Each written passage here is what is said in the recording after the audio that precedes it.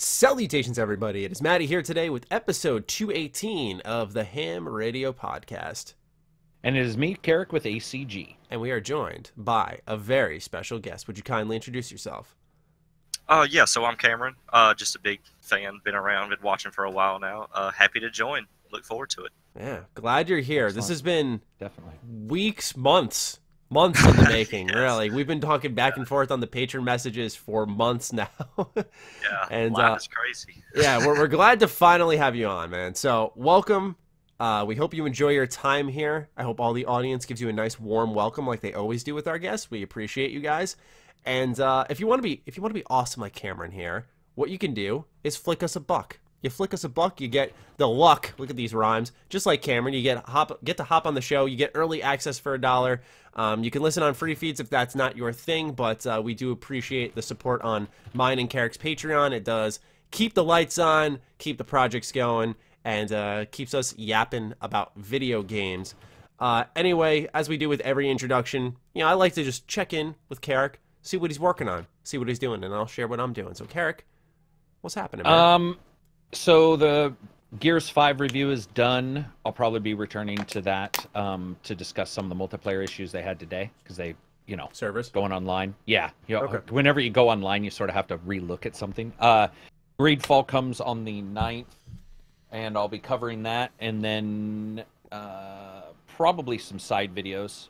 But I'm going to be playing a bunch of Plants vs Zombies this weekend too, or mm-hmm. Plants vs Zombies 3 this weekend as well. I meant don't to ask when get- you were just talking about it. Is that like an early access, a beta, or is that full full It's- game? It's called the Founders Edition of the game, and it ah. looks like it's got everything other than a couple modes, and they're adding a mode every week anyway, even once it's at full release. So it's one of those A pseudo ones.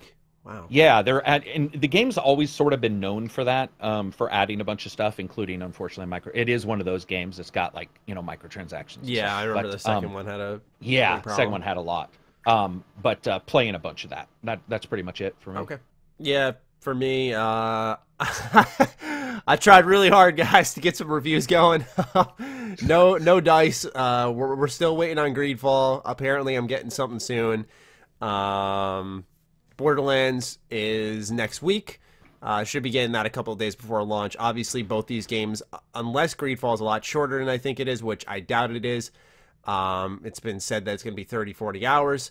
Uh, I don't think I get that done for a review, and obviously I'm not going to get Borderlands 3 done for a review, but I should be getting them ahead enough to make content. So, uh, you guys will be fine. It just won't be the fully produced review day and date, like or or ahead of launch, like I really try my best with big launches to do. Uh, but apologies on that. Um, outside of that, you know, I don't feel like talking about it yet again, but Secret Project work still are underway. Um, so we'll leave it at that. And uh, we shift now into our introduction, where we're going to talk about the banger of a direct Nintendo had this September. Um, I, I went in with minimal expectations, I'll admit, because personally, I was like, all right, September, you know, you got three big games coming from Nintendo already. Um, that being Pokemon, Luigi's Mansion, and then we have Animal Crossing next year, which seems to be like their next huge one. Um, and it's like, okay, you know, that that like what could you surround that with to make the show exciting? And it felt like it was just such a powerful role. Like there was just constantly something surprising me. Um, I'll get into what what I particularly liked in a second, but we'll start off with you, Cameron. Was there anything uh, that stuck out to you during uh, the direct, whether you sat down to watch it or maybe you, you just looked at the announcements afterwards? Was there anything that, that really pumped you up, or did you not care? Right, for uh, for me, the biggest thing that I saw that actually struck to my attention was uh, the Pokemon Sword and Shield, Oh, and really? it it's it's sticking to me in a weird way. I'm excited for it, but it's just got I don't know how to describe it. It's just got a different feel to it than other games, like like the the camp system. And I mean, it's not necessarily bad things. It's just I'm excited for it, but I'm hoping they don't try to do too much Mm-hmm. with taking a simple game that has simple mechanics and I, I'm just I'm I'm nervous, but I'm also really excited for it. It looks awesome.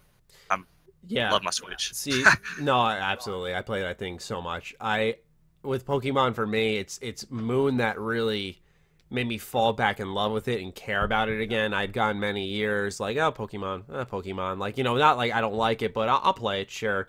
Uh, to when I played Moon, I was like, wow, this is good again. You know, I thought Moon had some like, uh, uh, you know, some serious moments in it. I thought the the world was good, the music was good. Uh, I enjoyed the story.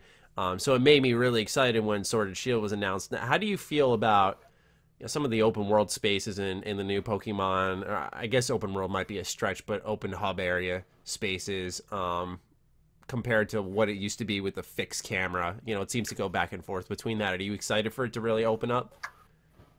Oh yeah, I'm loving that. Um, I think that if they do it right, that it can be something innovative and change it in a certain way. And that's nothing to take away that the old games were necessarily bad, but you Mhm. know, change isn't always necessarily bad. And if uh, they can find a way to do it in a good way that doesn't take away the Pokemon feel from it, then I think it can work out great. Yeah, I mean, I, I'm excited for it in general, and I, I what I've noticed with Pokemon is what they always do is they announce like, okay, new games coming, and then they start just peppering in these like little additions, like we saw at the direct, where they're like, you can pet them and you can play Oh, with them, like they added Nintendogs into the Pokemon experience. I was like, okay, like, you know, they, they say that your Pokemon will, will perform better in battle, uh, and I hope that there's legitimate impact there. I know sometimes they'll get like a little buff, and it's like, no, give us like something substantial, because otherwise these things that they add in Pokemon become gimmicky.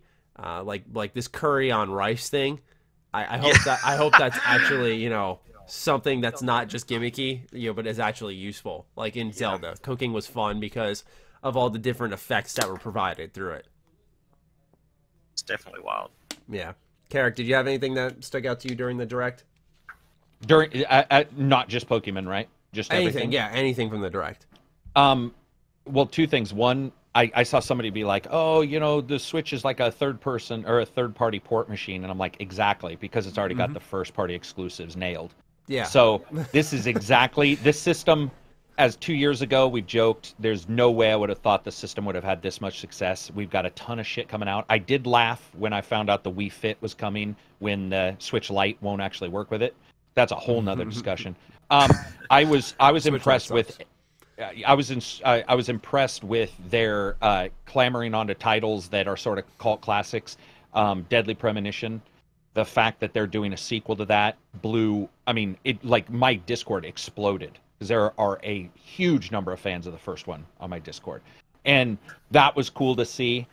I just think they're nailing it all over, not only the direct, but you know, like Pillars of Eternity, those kind of games. There's mm-hmm. so many titles, and watching that direct and just seeing people just like, oh my god, this is coming out. Oh my, and it wasn't like, oh my god, a new Mario, but it what it was was it's filling out the library to where if I talk to somebody and I'm like, There's something for everybody. there yeah and you know it used to be oh sky it's my favorite version of skyrim or it's my favorite version of this. And then pretty soon now it's like well yeah it's got those which are awesome but it's also now got blah blah blah. And D- uh, divinity original sin just plopping down My with cross save support was That was that was sort of a mind blow that was sort of a genius. Yeah it was sort of a mind blower to have people be all oh that's just available right now which I don't think they're the only ones who are doing that. That right now kind of thing. They're Yeah. very good at being secretive. But the cross save was so was awesome. smart because it Yeah. was enough for people to go buy it a second time and be like, Yep. okay, I may not always want to play on my Switch, but now I can play on my PC. And when I leave,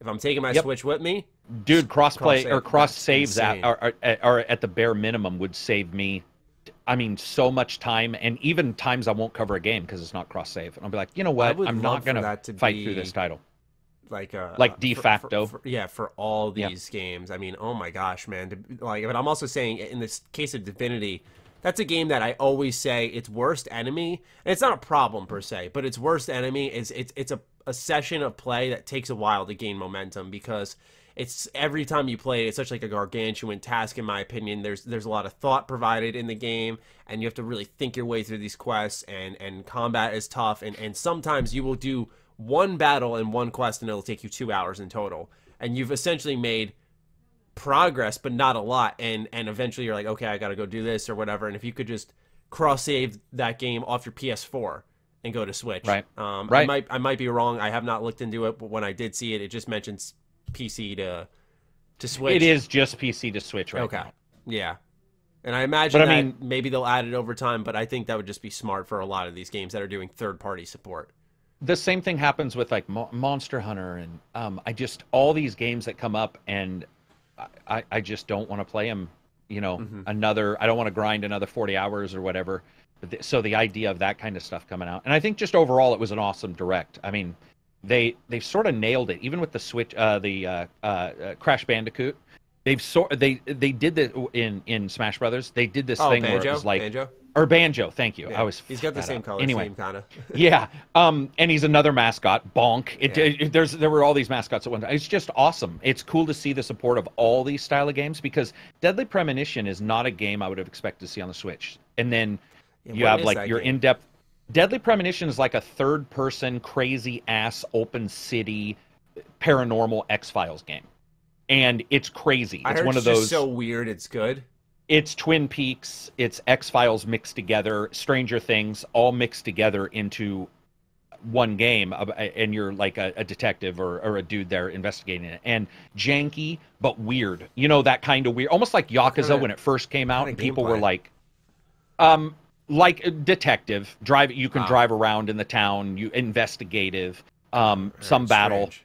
Yeah, it's but it's it, dude. It of all the games, you would- like I would just have never assumed number one, let alone would just be available, but that number two would even be coming. It's it's Yeah. very cool. Yeah, that was that was wild because for me, I, I'd never played the first. So when it got announced, my Twitch chat was like, "Oh my god!" Like it wasn't even Right. like hype. They were like, "It's are you serious?" Yeah, exactly. That's Exact- what like, is this a so. joke? Yeah, that's how I felt when they did uh, Jedi. Well, actually, I shouldn't say that's how I Oh, felt. Je- I- that's another one. Je- Jedi. Jedi. Knight. I sprung out of my seat. I was like, Holy insane. shit! I could not believe that they did that. Cameron, have you ever played the Jedi Knight series? Uh, I think I did when I was a kid, very little, so I can't Yeah. say that like embedded into it. No, it's But, it's uh, so good. I Yeah. love it, bro. I love the combat in that game. I mean, I'll admit I like Jedi Knight Jedi Academy the most, which is coming out next year. That's the one I care about. But the fact that uh, Outcast is coming out this year, uh, I'll probably carve out some time for that. That looks that looks to be just such a fun game. Those those titles uh, were- sort of made to imitate like when Doom was, you know, Yeah. and and Wolfenstein were you know sort of pi- pioneering the FPS genre, and you'd start see to see like Dark Forces come out, and that would be like a another FPS, but it was in the Star Wars universe, so it had a little bit of an edge.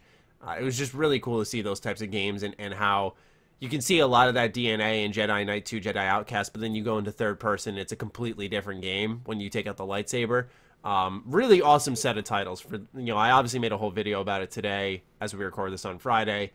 Um, but for those who haven't checked it out, it, they they totally get my complete recommendation. Um, now I know I know Cameron had mentioned how he was really excited for Pokemon, but is there any other uh, for both of you any other specific exclusives that were talked about, like Luigi's Mansion off the bat? Uh, I guess we could say Overwatch in that version for the Switch. Was there anything exclusive to this platform um, that really got you pumped up? uh, not for me. Not for me. That was probably all that stuck That out. was it, just Pokemon. What about you, Karak? For anything else there? I guess anything else that was exclusive because we saw a lot of third-party Oh. ports, was, you know, and so I wanted to like, slim it down a little bit more. You know, did you care about Luigi's Mansion? Maybe. No, not so. It doesn't mean I won't try it out, but mm-hmm. no, not so much that. I think I was. It comes out on Halloween. I think that's amazing. yeah, it is pretty smart. I, I think it was more just about, and I don't even want to say third party, but it was. It, there was just the breadth of it was pretty incredible Mhm. of the direct as a whole. It was just Yeah. there was in in fact there wasn't one title I was like wow. I just kept going like what the fuck because. that could have easily been a good, not a ton, but a, a number of event announcement at, at an E3.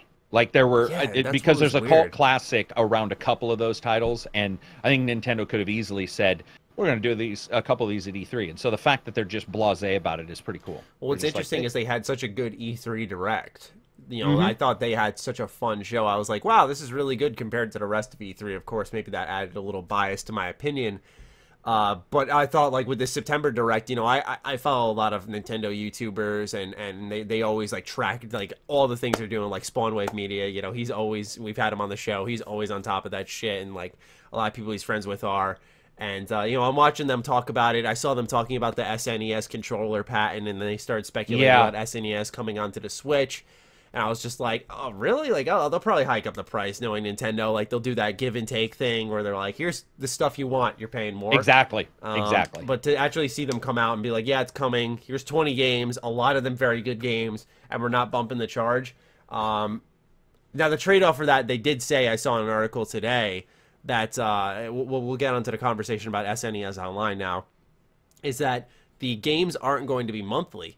It's gonna be uh, it's gonna be just released sporadically. Like the the NES Online would every month get I think two new games, but now uh, they're not going to do two games for the NES, two games for the SNES, but instead just sporadically do them. Uh, how do you guys feel about that approach? Now, I think that may be the balance that's required in order to keep the service from from upcharging more, because if there's a demand at like four games a month, four games a month, four games a month, you're 48 games a year from these old platforms, um, and you got to make sure they work, and there's an online functionality that has to tie in with it. Uh, so I just wanted to pick your guys' brains about it and, and see how you how you felt about the change in, in service. Go ahead, Cameron.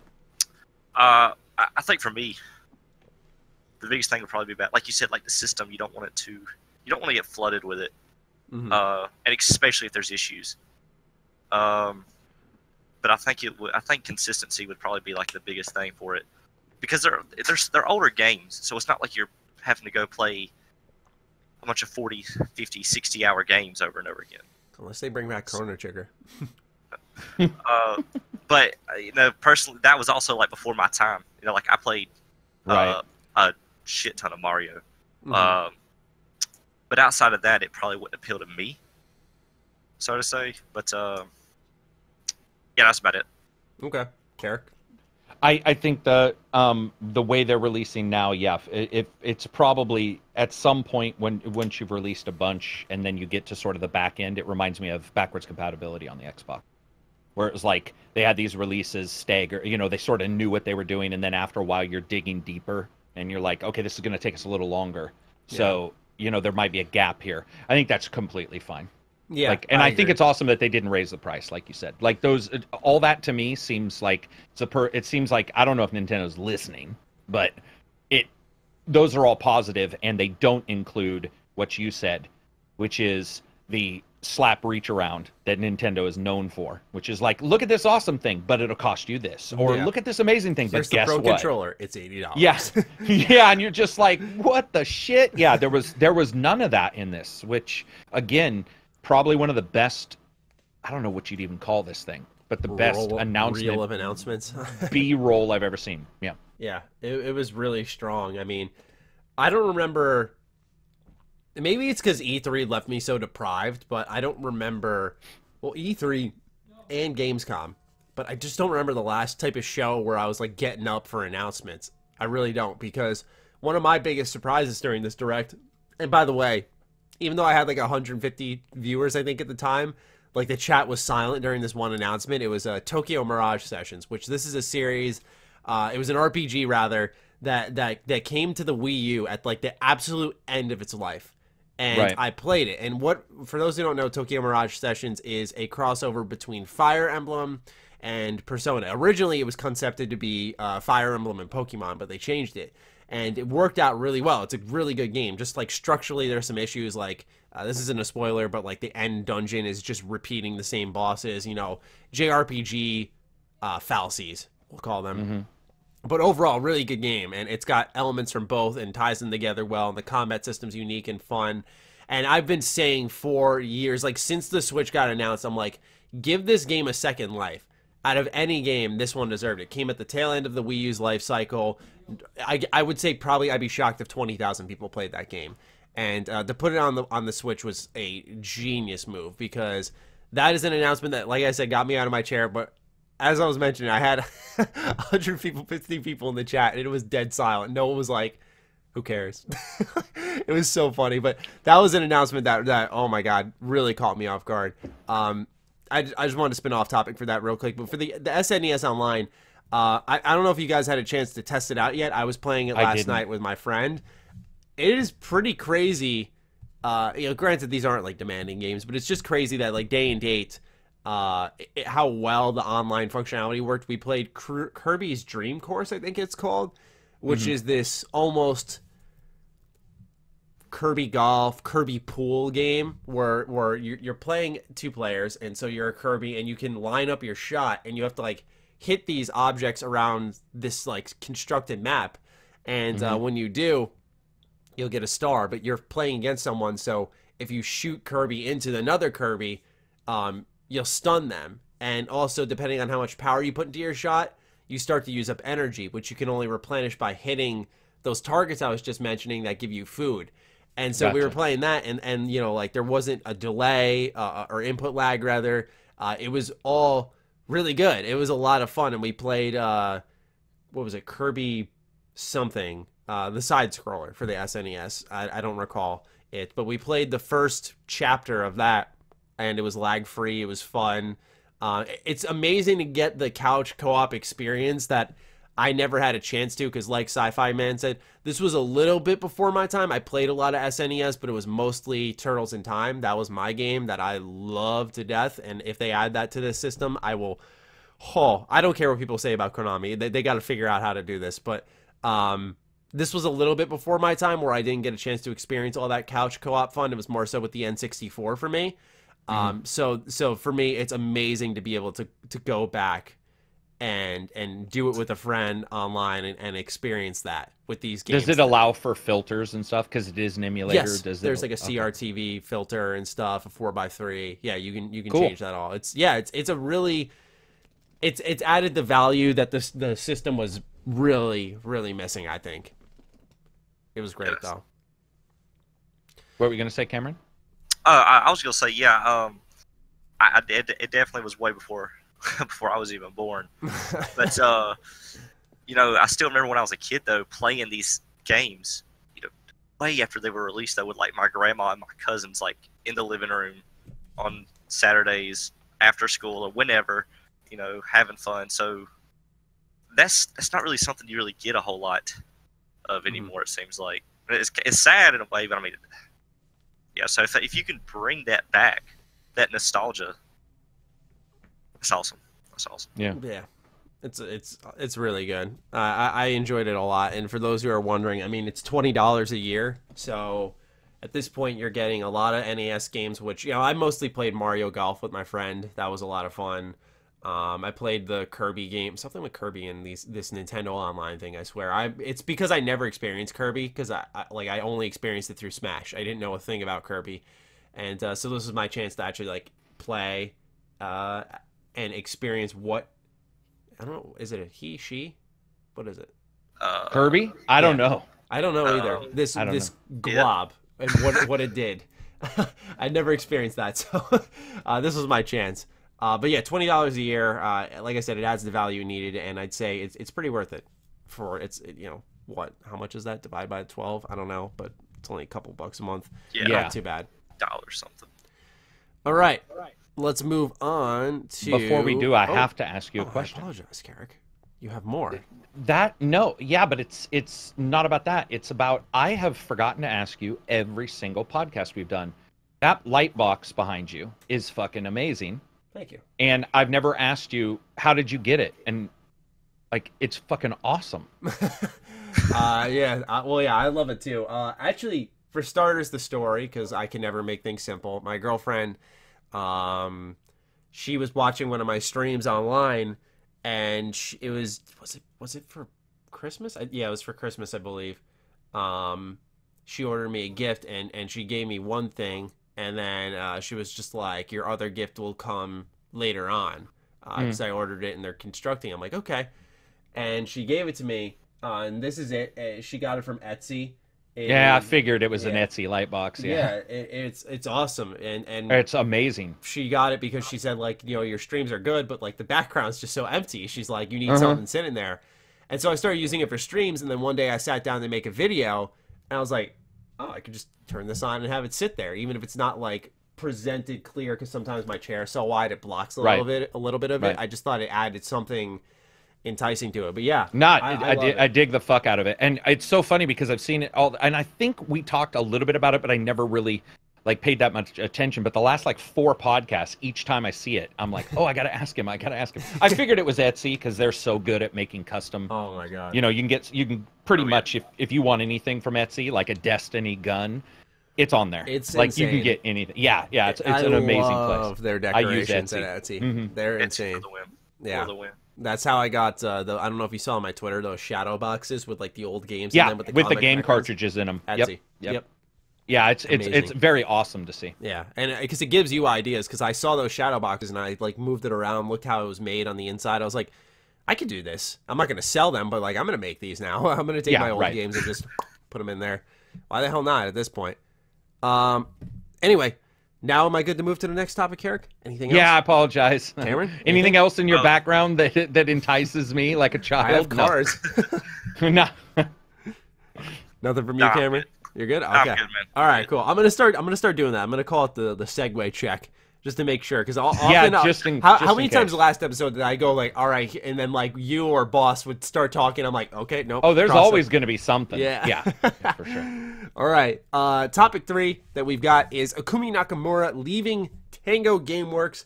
Now, I don't think this would have been a huge deal, but she ascended to stardom this E3 when they came out and announced uh, Ghostwire Tokyo at the Bethesda E3 conference. Now, the reason this is also a big deal is because Shinji Mikami himself came onto stage and introduced her sort of as her you know his protege and was like you know this is the person to succeed me. Um, that was the story. That was uh, why it was such a touching thing. And then on top of that she had her, her quirks on stage which everyone fell in love with. Um, and now she's gone. She left tango gameworks to go presumably either do her own thing or whatever but she was creative director on ghostwire tokyo and uh, i don't see a lot of people talking about this but we just saw Tim Willits leave id. We talked about that on the show when it happened the week of. We also just saw Matt Grandstaff, who has been at Bethesda's communication department, my gosh. excellent guy, leave after I think 15 years. We're seeing a lot of long and, and Ikumi worked at at Tango for nine years as a concept artist and a uh, and a, a creative director, and this was her first project, like leading the charge pretty much. And now she's gone. I've heard, um, and I've seen other people citing sources saying that ZeniMax has been quite overbearing about inserting stores. So my speculation, which I would say is somewhat accurate and is not guided by, not only guided by recent products they've released, but just based off what I'm seeing people say and what I've heard, is that I think there was a conflict internally. I genuinely think there there was a you're putting a store in. No, I'm not. Okay, here's you know we're not like here's the door pretty much without firing her but they're like well we're putting the store in she was like well this is my product and i don't want to work on it so fuck this i'm out i'm gonna go somewhere where i don't have to do that that's my guess mind you speculation educated speculation but speculation what do you gentlemen think were you shocked by this Go ahead, Cameron. All right. Okay. Yeah. So I got a lot to say about this. all right Um, let's go This this was wild for me. Uh, th- throughout the Bethesda conference, it was very boring to me. I think is uh overall. I mean, there was, I was excited to see some of the stuff, but overall, I was I I was pretty disappointed overall. That was You that like was like commander keen on the uh on the phones definitely not. Um, she was the, the biggest part for me, and it was not even necessarily the game. It was just the energy that she showed for the game, and it was like a passion for it, and it was killer to be like, "Whoa, she's not here." But for me, I also when I'm looking at this, you know, she was the creative director, and they were talking. I, I'm still confused with what the hell the game is, uh, Mhm. uh, entirely, uh, exactly how it plays out. And I guess that's just something we got to wait and figure out. But I think it'd be different for me if it was like somebody working at Call of Duty, to where it's such a already set in stone genre. But if this is something entirely new, very good and the creative director leaves, you know, I don't know how far along this is two years, one year, six months. I really don't know. Um, I'm worried about what that can do to it because if you don't have a right track, you know, something similar like Anthem, you know, people leaving and coming back or whatever, you know, that whole Hmm. debacle. Uh, I, it worries me. I mean, I'm still excited. The game looks interesting. It, it did get my attention, but it leaving was was pretty depressing. Yeah. And I'm hoping what I want to be true is that she left because there was another opportunity, not because of what you said, but I'm I'm feeling like you're right. I'm feeling like you're I, right. But I would feel like if there was another opportunity, now that I'm, I'm now that you've put it out there, and I, I just hearing it makes me think of the tweet she posted where she said, "If you want to work with me, here's my LinkedIn," which Yeah. to me that doesn't sound like I had another opportunity. It was like I'm out. Who can I work for? yeah, it was. It, it's it's sad. It really you know upsets me in a way. Uh, Mm-hmm. not not nothing against her. You know, I want her to do whatever she feels is best Yeah. for her, her family, her life. You know, because that comes first before making me happy playing her video games. hmm But you know, I, I really do think you're right. You know, there's a trend going towards not just necessarily making a good game because I really think these developers want to make good games. Who said, you know what, let's just make a bad game? But uh, you know, I, corporate is killing it, man. I, I feel like you're right about that.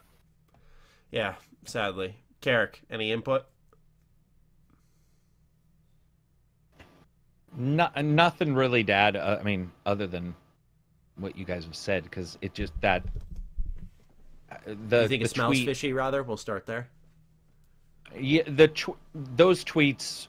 Whenever anybody's there, so there's sort of a negative connotation if if anyone wants to work with me, Ah. that indicates there's a chance that yeah she was let go because that that there's sort of psychological behind that of like well Mhm. these people don't want to work to me, with me so if anybody out there does want to um and like you said the void there's no new thing popping up because we see that a lot of times. Oh i'm you know i'm watch out in a week. I'll ex- i'll, I'll announce my new thing which you see all the time. So i mean i don't really have anything to add because i don't think any of that's wrong. I just I- think all that's probably probably right. I don't know about the store thing but it seems like that would be the major thing. Hmm would be the store. Additionally, it could also be maybe this is her first time, and we do have to factor in the fact that uh, she may not have liked it. Uh, it- I mean, there is uh, even talking to Liam, who was the producer, uh, one of the producers for Vermintide. You know, he went on, he left uh, Fatshark, and it, it it's pretty tough to be a producer. It's pretty tough because you are everybody. Like he described to me what his job was, and I was like, oh damn hmm like damn like you're talking those are the people that work john carmack hours you know what i mean so because they're answering to everybody so there's also the chance that it, it was a combination of things like burnout not wanting to do it i think the store thing sounds accurate because we do sort of know that that's what they want you know that's what they want to do Yeah, and even if you disagree, right? Like I think the products just show it. You look at Wolfenstein, Rage, Fallout 76, just as a couple of examples that come up, and each of those has one thing in common. 76 makes a little more sense, right? It's it's an online only title, um, but Creation Club Edition. Um, you know rage didn't make any sense to me it still Yeah. doesn't even though i no, didn't Rage hate didn't, it and Wolfenstein. it didn't make any yeah yeah it did it, it, it seemed Mhm. arbitrarily there And what's sad is both those games. Well, I, I love Rage too, but when it comes to like Wolfenstein Youngblood, um, it's not even like the store that is is I think damaging these games. It becomes like this additional punching point for a product that's flawed, right? Because you have, for, we'll, we'll keep on Wolfenstein. You have this game that uh, wasn't balanced right. Uh, enemies got very spongy. You could tell it wasn't tested as much. Uh, the the going back and forth through areas could be a little repetitive, and uh, and in turn, that all becomes annoying. And then you see the store there that's just it serves no purpose. It's just there, and you're like, why? Why is this here? Um, you know, that's the type of stuff that doesn't help these games out at all and because you don't see any goodwill towards the consumer, any any good natured acts that that you kind of just feel like they're money trees and they're trying to shake you loose to something, um, and it becomes frustrating because then you know certain things that uh, we always talk character about things that like the good and bad and how it balances out. Where something's so good that uh, when we're reviewing a game, I don't want to say you overlook it, but it, it doesn't hold as much weight uh, negatively to mention because some of the good is just so good, right? So like yeah um, I think that Bethesda, in turn, and ZeniMax need to realize that these stores aren't helping them out critically either because uh, people are starting to factor it in. Uh, where they're like, yeah, you know, the, the- you know, like these frustrations amounted, and then I saw the store. You know, it's like that extra talking Yeah. point that does, Yep. that's negatively entailed, and I know that they're probably making a lot of money off of it. Maybe it's not impacting them at all, but I just feel like it's a slippery slope. Yeah, it sucks. Yeah. I I didn't even really know what the game was either. I mean, I di- you know you saw those trailers and I read some stuff, but I didn't really know exactly what the game was either. So in a weird way, it was probably my most exciting trailer from them during their video or during their uh, announcement. Um, but at the same time, also the one that at least for me is the easiest to let go hmm because I didn't get attached to it. In, in I wasn't able to. like that, I Yeah. just I flatly there wasn't the data out there to get attached to. Yeah, So there's nothing to Um, it outside of a personality. so when when all is said and done, if they continue making it, that'll be the more interesting thing now. Is if they continue making it, like what changes, what doesn't, because they're in charge. The the producer at her level is in charge of everything. Like even not only the graphics, but how the graphics interact on a jump, and then that adjusts the gameplay because the jump animation needs to be slowed down a little bit to make it more look more epic or whatever. So there's all these things, and without her there, um, who's stepping in, and is the game going to continue? I mean, that's probably a big question too. Yeah, I, I mean, hope. I don't know, guys. Like that's the question. Do we? I don't necessarily want the game to not continue because that means other people who are just an artist, right, i- Mhm. i- at his at his desk, also is impacted just because one person leaves. That also bothers me because I hate to see where people are linchpinned so much that if one if if they leave, then everybody loses their job. That would that Yeah. also sucks. Yeah, I don't think that would happen. I just, I, you hope know, when you're creative director, you know, you're kind of the in in the middle. You're working with the artists, you're working with the writers, you're working with you know story directors and so on. Like, there's just so many pieces that you're working with because you're literally the name of the, the the title you have. You're directing the creation, right? And it's just like that's a hard spot to step in and pick up the pieces for, uh, especially if you maybe someone fills in and they're like, yeah, you know, I, I like Ikumi's vision, but we're gonna change this, this, that, and it's like, oh, but we were working on this, this, that. They're like, it, it just becomes like a no one's on the same page. I think it's hard Yeah. to get into a rhythm at that point, especially when you're at a, I don't know how big the studio is, but it's sizable enough where that's a lot of people to manage. Um, I don't know. It doesn't sit with me well. I just I feel like when you have someone like Shinji Mikami introducing you on stage, uh, there there's a, a sign there of passing the torch. Um, and it's been said in multiple articles that you know she was sort of like his you know his apprentice, and uh, he was her mentor kind of thing. It's Has very he tweeted anything, Matty? Shinji? Has he tweeted anything Oh, since this I has don't, happened? I don't know. I didn't Because that would really be a good Twitter. thing to check on. Is if if Let me see if he's got a also you know He probably does. because like if he's you, you know like if he's said something, sometimes you can glean something off of their response. Let's see here. Uh, official English Twitter of Shinji Mikami. He has not tweeted since 2013. Oh, oh okay. Yeah, All right. Well, that's that's scratch that. yeah, That does make sense, though. That does make sense. yeah. But Tango themselves said uh, that they continue to be led by the legendary Shinji Mikami and his talented team in the development of Ghostwire Tokyo. So he still had a hand in this game, but this seemed to be like her thing. Uh, I'm, I'm not sure. Something happened there. Uh, she put it out there in a pretty positive light, though, and was also mentioning today how she's going to ZeniMax to thank them. Which, uh, but this was like Oh, after 24 hours after kind of thing, where I was like, hmm. I wonder- She was like, She's going to Zenimax to thank them. Yes, I will read the exact tweet. Give me one sec. I got it right here. Uh, not Ikuni, Ikumi. Here we are. She said, "It's hard to overstate my satisfaction. Many ZeniMax fellows have personally said uh, sayonara messaged me. Thank you so much." She put this in quotes. Hurricane 193, and mind you, her handle is uh, Nakamura 193, so I don't know if that means anything. Uh, will land on ZeniMax at the end of this month. IT teams should raise the security level to the maximum. Can't stop me. Take care. Ha ha ha. I'm going to see ZeniMax fellows this month to tell them about my express about my express for gratitude. Obviously, there's a bit of a language barrier. Uh, and then someone from Bethesda, who's a video producer, said that they couldn't wait to see her. So she is visiting them at the end of the month for something. Some people thought that meant that she's splitting off and creating her own studio, or not some people. One person actually responded, and the way she wrote it, they were like, "Are you teasing your own studio?" Right. Well, that's what I'm wondering. ZeniMax?" Yeah. She might also be meaning hurricane, as in she's a and di- if she's got a bunch of energy, you'll we, we, you call those at work. You'll be like that person's a hurricane because they're just full of Mhm. energy. Maybe she means the hurricane is coming at the end of this month when I return to ZeniMax to thank everybody. Yeah, yeah, I think that's That's, what, what I that's what that's what I'm taking from. Yeah, because she put it Hurricane 193 in quotes instead Yeah. of Nakamura 193, so it's like she's the. the that is a pretty strange tweet from somebody who left under bad circumstances. I will Yeah. say that that most of the time people will not tweet. Like you're just like don't tweet Mhm, at all. mhm. um anything like that um and in fact when we were letting people go at my job you know they were a part of the, your signing leaving when you would sign your ndas it'd be like you're not allowed to tweet about this blah blah blah I, i'm just wondering if they even had that you know Hmm. so yeah it's it, it get that is almost makes it more mysterious to be Mhm. honest to me Yeah. All right, segue check. Are we all clear? Yeah, I'm good. I'm good. It's so sad. about the yes no okay. All right. All good in the clear, so we move on to Cyberpunk 2077, which is getting multiplayer after launch. Let's read the following tweets. Yes, Cameron, I'm with you. That's a, it's a little bit of a yawner.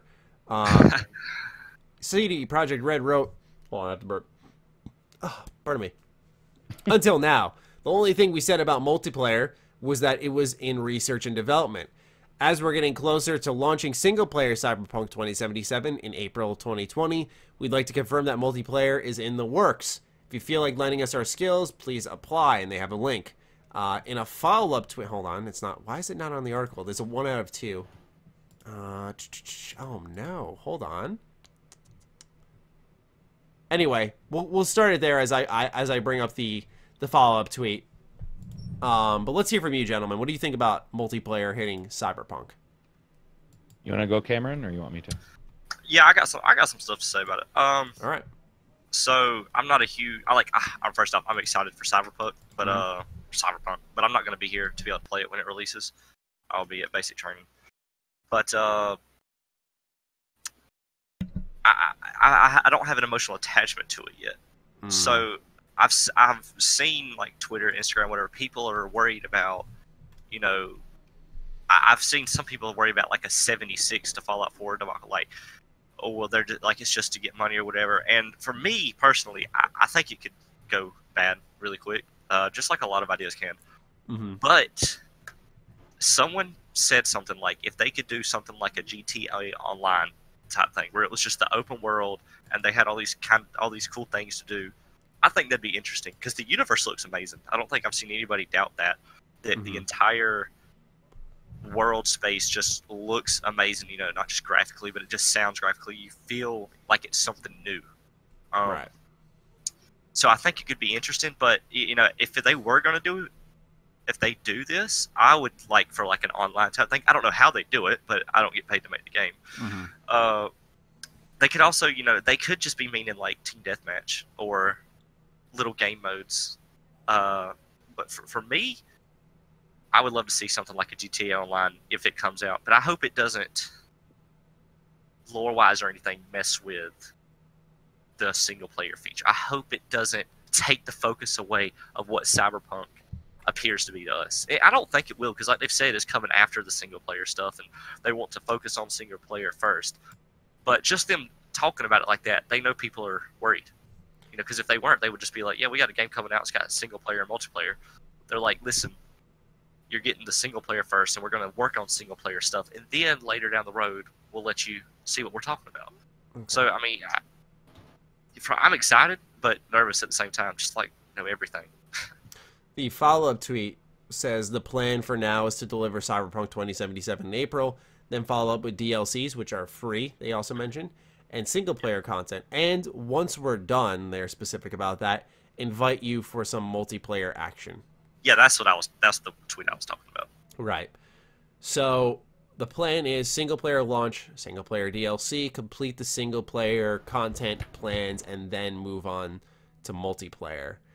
Um, now, I have a, a theory about this whole thing because we just saw a lot of gameplay for Cyberpunk 2077. Not as much as last year, but we saw a lot.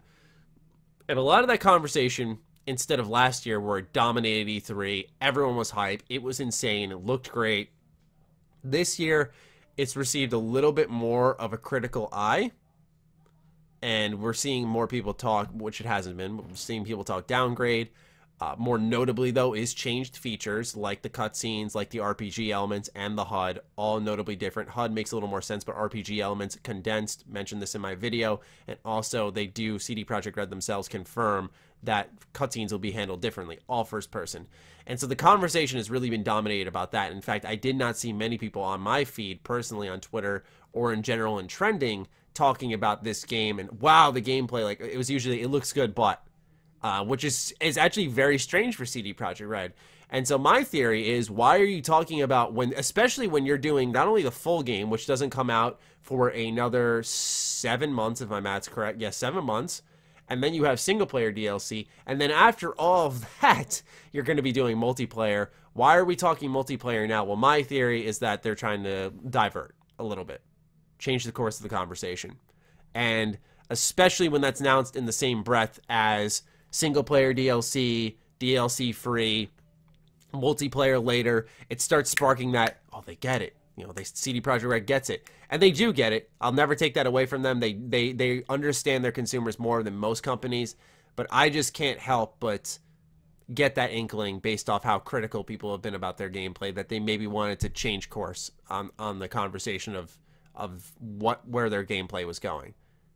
Thoughts, gentlemen, or am I crazy? I didn't really. S- I saw a little bit of a downgrade uh, discussion, but we kibosh that usually because that's how development works. Like games Yeah. will look better, look worse. Um, I saw the soda cans during the stream, and there were some graphical issues here and there. Um, the RPG changes, like you said, changes to the first person um, versus third, which, like to me, I have no care whatsoever about the the viewpoint of how they do those cutscenes. It's, it's like going to be up to them. character. That's I like issue. seeing my character, Mhm. um, but at the same time, I, I and I, do, I definitely do, but at the same time, I just don't care. Um, I think when it comes down to it, to me, it just seemed like a tweet. I don't know. I just didn't. I didn't read. It's. It, it's not. We know that that PR account is actually not even handled by the devs. So it's like to me, it Yeah, just seemed CD like Projekt Red themselves. yeah, it just seemed like here's a here's a post about what we're doing. Multiplayer was remember uh, hinted at, and people were talking about it, and that was a question. So maybe they were just like, these are the things we're working about. I honestly hear that tweet and think maybe they're just trying to indicate they're not focusing on multiplayer and splitting resources away until the single player is done. So you can read it both ways. You can read it as a I guess negative. it's and just they it say it's in the works, so they are working on it now. yeah, side companies working on that right now. Mhm. It's not them. Oh, it's not. or okay. it's not their primary. I should say it's not their primary team that is working on Cyberpunk. For uh, the the single player is Mhm. not the same team work. Yeah, that wasn't really uh, it personally wasn't my concern because, for example, I I know it's probably not a good one, but like Gwent, like while they worked on that and, and Yeah, Witcher right. Three, like Gwent, Gwent's still good. You know, I know it's an Oh. established framework, but Also, you owned a 360, right? Mhm. Did you ever do shi cyber? Uh, uh, I just looked it up so I could ask you this. Uh, did you ever do Shadowrun? uh, no, I've actually never played that. We heard uh, So sh- Boss talk about that a lot last week. Yeah, so Shadowrun is an incredible uh, uh, shooter that was on the 360, but people were mad because its viewpoint was different, funny enough, and that it did some other stuff and it was a multiplayer shooter, right? Nobody, people were having difficulty with it. However, it's a cult classic, and I could absolutely see Cyberpunk doing that kind of thing, where it's like looking at the, that game and go because they are connected narratively by a great deal, or not narrative, but thematically by a great deal. I could see them certainly looking at that and saying, you know, that's what we want to do, but it's not connected to the Cyberpunk main game. Mhm. So it, it is something completely separate. And then additionally, is it going to be an open world or is it going to be a virtual world in their already virtual world, which is what I think it'll be. I think it'll be Remember like there was a rumor way before, like two years before we even got a reveal for this, the re-reveal rather for this game, and they were talking about how um, Cyberpunk would have like some type of hub where you could get together and play like mini games together and stuff, like a card Yeah, game, and, and yeah. I, I wouldn't be surprised if they took that route first before. Either they, would I, because remember they're talking about cyberjackers in all of their trailers and stuff, and like you can go into the cyber world. It's like, what if it is a copy of your world, but they pretend it's in a, you know, it's a game hmm in in in Cyberpunk's world, almost like a mini game is fishing in Red Yeah. Dead, you know. But this is like a full shooter, and I, and and they could add that into the main game, like um like Cameron was saying as well as like a, a, a an online GTA too. Yeah, it's possible I'm looking too deep, but I just think the timing's funny. It is. It, you are right. It's not from Cyberpunk's Twitter. Um, it is from CD Projekt Red. But I just, I don't know. I'm not saying it was over, overly negative. I just thought it was critical, which there's which there's a difference, obviously. Overly critical. You mean you, the reactions you were seeing were critical? yeah, like a lot tweet? of people were talking down, like talking about was there a down? Oh no, I saw that for sure. yeah, sure. you know, like it was just critical. I think to to you know, okay, it's not the utmost insane praise that usually CD Projekt Red understandably garners in many ways. I I think they just shifted course a little bit. They were like, okay, like here's you know, let's let's let them know, as you said, you know, let's let them know, hey, DLC not in the works.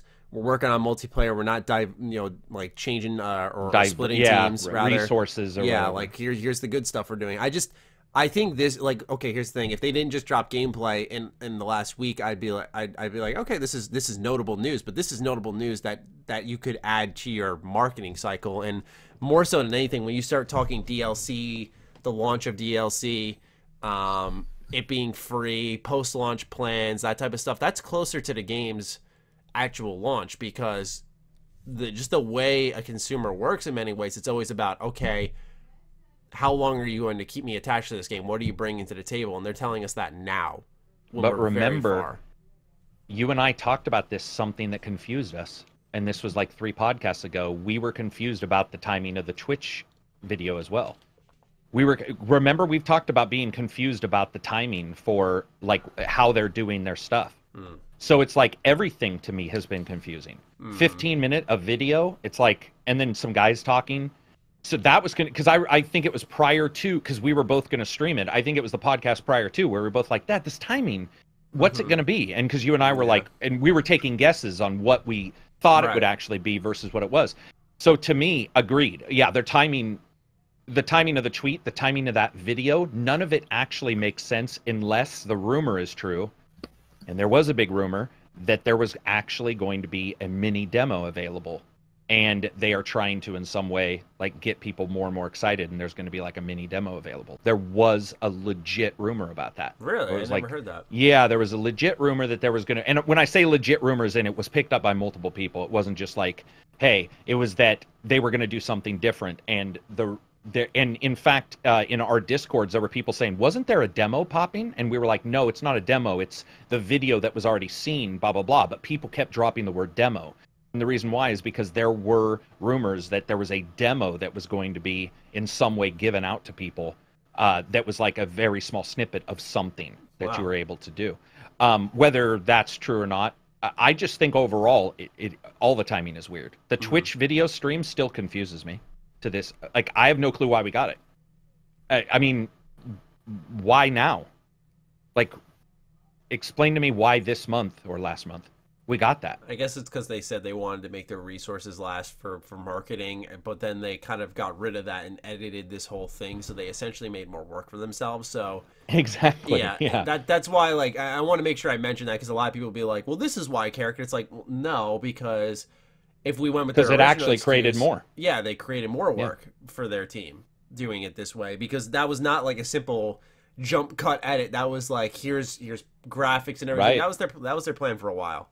It was Yeah, obvious, it's- and that's that's why I, I took a little more of a cr- not like I didn't initially, but Thought was a more process towards the. Twitter. Yeah, yeah. It just it was it was different for me when I approached. it. I was like, this is exciting, but like something's different here. There there's something going on underneath the surface, and I am wise to it. I'm on to you, CD Projekt Red. Segue check.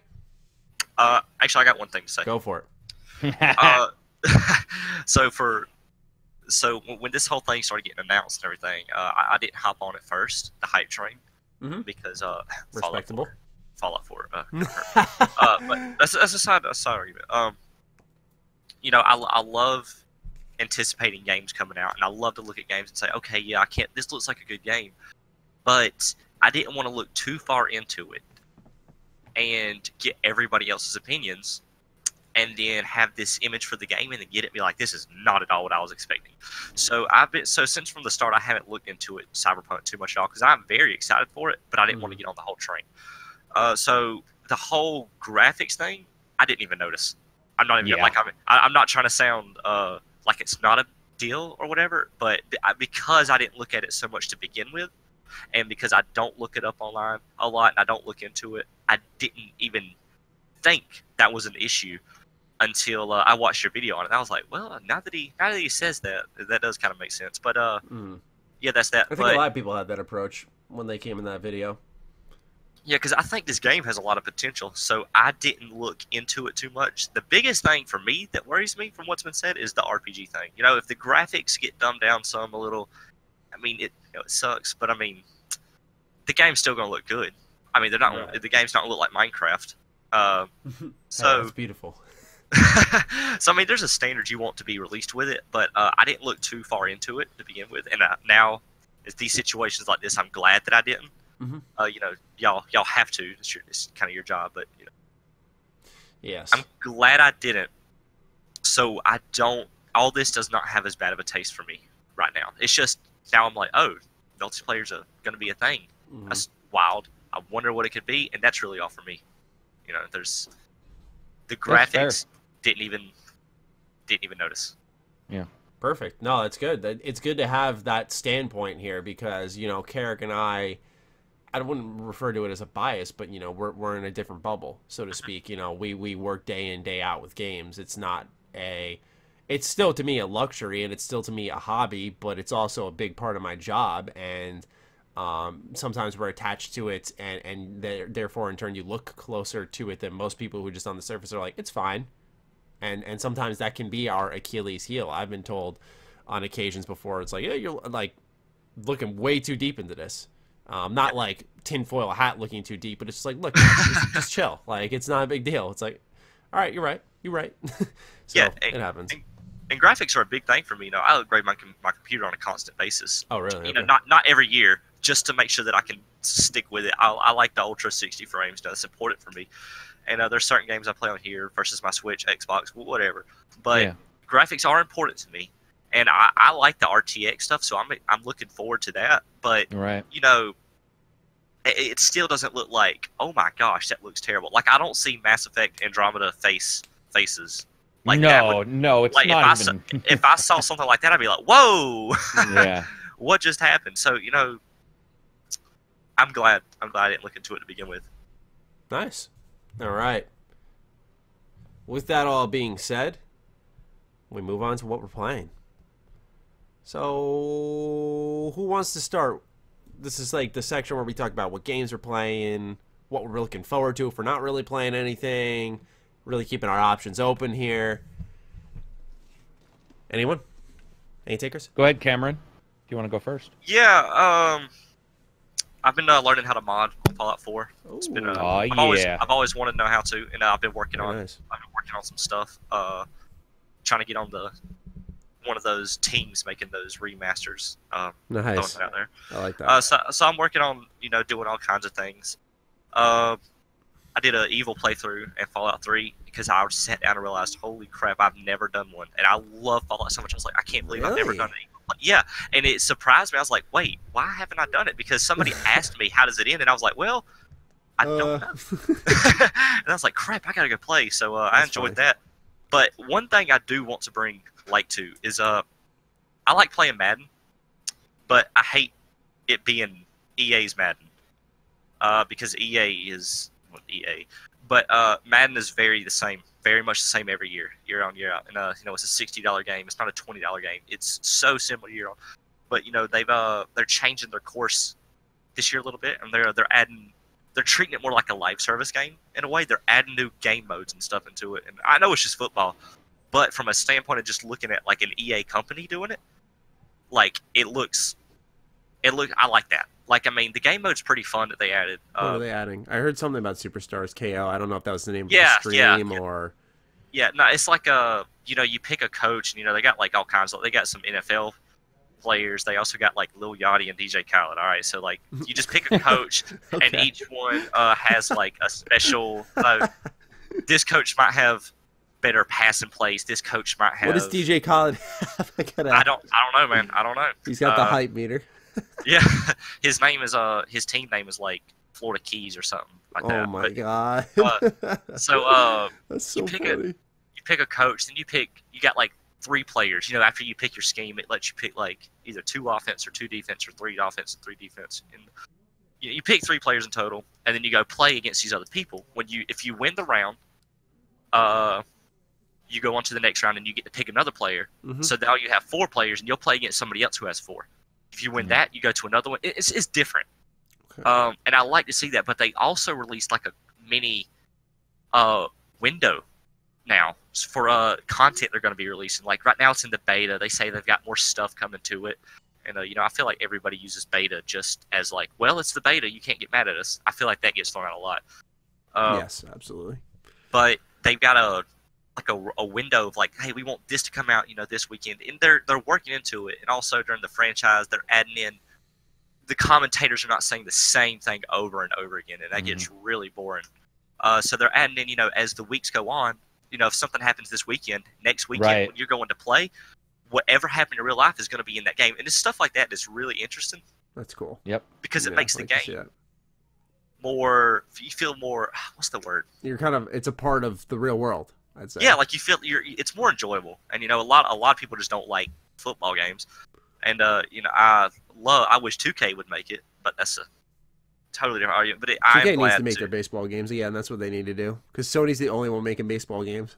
That's how I look Yeah, at it. I I feel like EA deserves a little bit of credit for this because you know they do a lot to get a lot of. Yeah, I'm not on EA side on a lot of things, by the way, so uh, don't get don't get me confused with that. But right. I do think that this was a good step. No, absolutely, and it, it sounds like it. I haven't looked into it at all. I don't know much about it, but yeah, weekly updates with commentary. I feel like I have heard that before. It might be with I don't know, was it FIFA or NHL? Um, yeah, I I used to play a lot of NHL.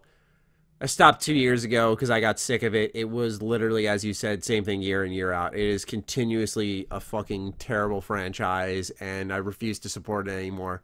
Uh, I don't even blame EA. I just think it's a very uninspired game half the time. um, even FIFA, I was looking, I was like, they're adding FIFA Street to the game. Like, that's awesome. Because FIFA Street in, I think it was 2013 or 2012, that was underrated. That was such a cool standalone release for EA. And obviously, it went, didn't go anywhere, but it was awesome to see. So to see that come back, like, at least you're seeing them have fun with it. And all I'm seeing NHL at is, I think it's like a like a street hockey kind of mode. I'm like, it's still the same fucking game, guys. Like, do something that makes it play differently. Like the reason FIFA Street's cool is because it's more about tricks and scaling past your opponent on a very small pitch, and the nets are like a foot tall and they're very wide, and so there's a lot more scoring and it's all about style. So you play the game differently. You know, you don't see that being introduced in a lot of different games, but uh, you see it now. It sounds like in Madden. You're seeing it in FIFA. You don't see in NHL though. So um, it's good to see that. You playing anything else outside of that, or just those things? Uh, you 55, 60% of my time has been working on the creation kit, which is really awesome. By the way, Cool. I really love it. Once you actually get to know what the hell you're doing, it's awesome. But uh, yeah, that's about it. Nice. Karak, uh, I think it goes without saying we know what you're playing, but uh, you're able to talk a little bit on some of these games. Uh, one being Gears, I imagine. One being Greedfall, and uh, if there's any other surprises you got in store with us, for us rather, uh, blow our minds. I wish we could both say Borderlands. Um, Yeah. I, I will say I agree with the NFL stuff, and as an NFL fan of the 2K games and the Madden games are fine. They're uh, you know whatever, but the idea of adding the the stuff is something that I think fans have asked for for like since it became online. So the idea to do that, also, I would love for them to just say, "Fuck it, we're not doing a next year update. We're going to keep the same game, and we're just going to add to it." Mhm. Um, I, I think that would be awesome because sixty dollars each month or each year is just it's sort of if football doesn't magically change, there won't be mortar rounds game at some point, you know. yeah. So the idea of adding that kind of stuff is great. Yeah, so Gears I finished up. Gears is awesome, 60 FPS, much higher on the PC. One of the most optimized titles and Digital Foundry did a video, so if anybody gets a chance and you're interested in tech, what's going on behind the scenes in Gears of War uh, 5 is probably some of the most impressive tech I've ever seen and uh, John from Digital Foundry breaks it down. Some insane stuff to get that at 60 FPS and to get it to look the way it does on the consoles is ridiculous. I was gonna say I saw people posting that it was 4K 60 FPS on Xbox One X, and people were like pretty stunned because of how good it looks. Dude, it's ridiculous. Even on the original, it's ridiculous. They're using some variable resolution tricks and all this kind of stuff. So, and it's fun. It's having online problems right now, which unfortunately I don't remember a Gears that didn't. Um, and that I just remember an sucks. online game that didn't.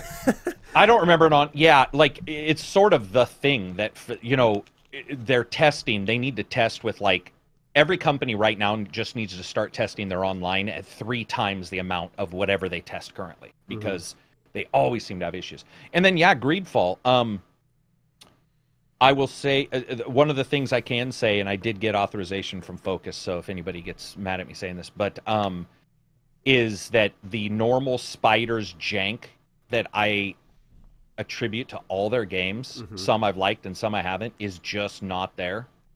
and And look that, way, so it's good to have that confirmed. yeah, it, it was it's pretty stunning to walk around and be like, whoa, what? And you know, there's in every game, even the best games, GTA's, whatever, there's always some glitch here and there, you know, with a character walking on a dog's head or something.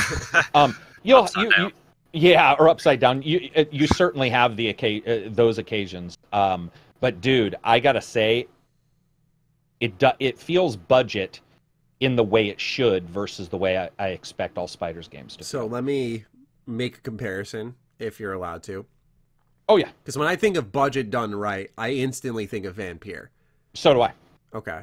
So it's kind of Yeah. like that. It's like the Yep. money went to the right place. It's not perfect, but they they spent their money wisely.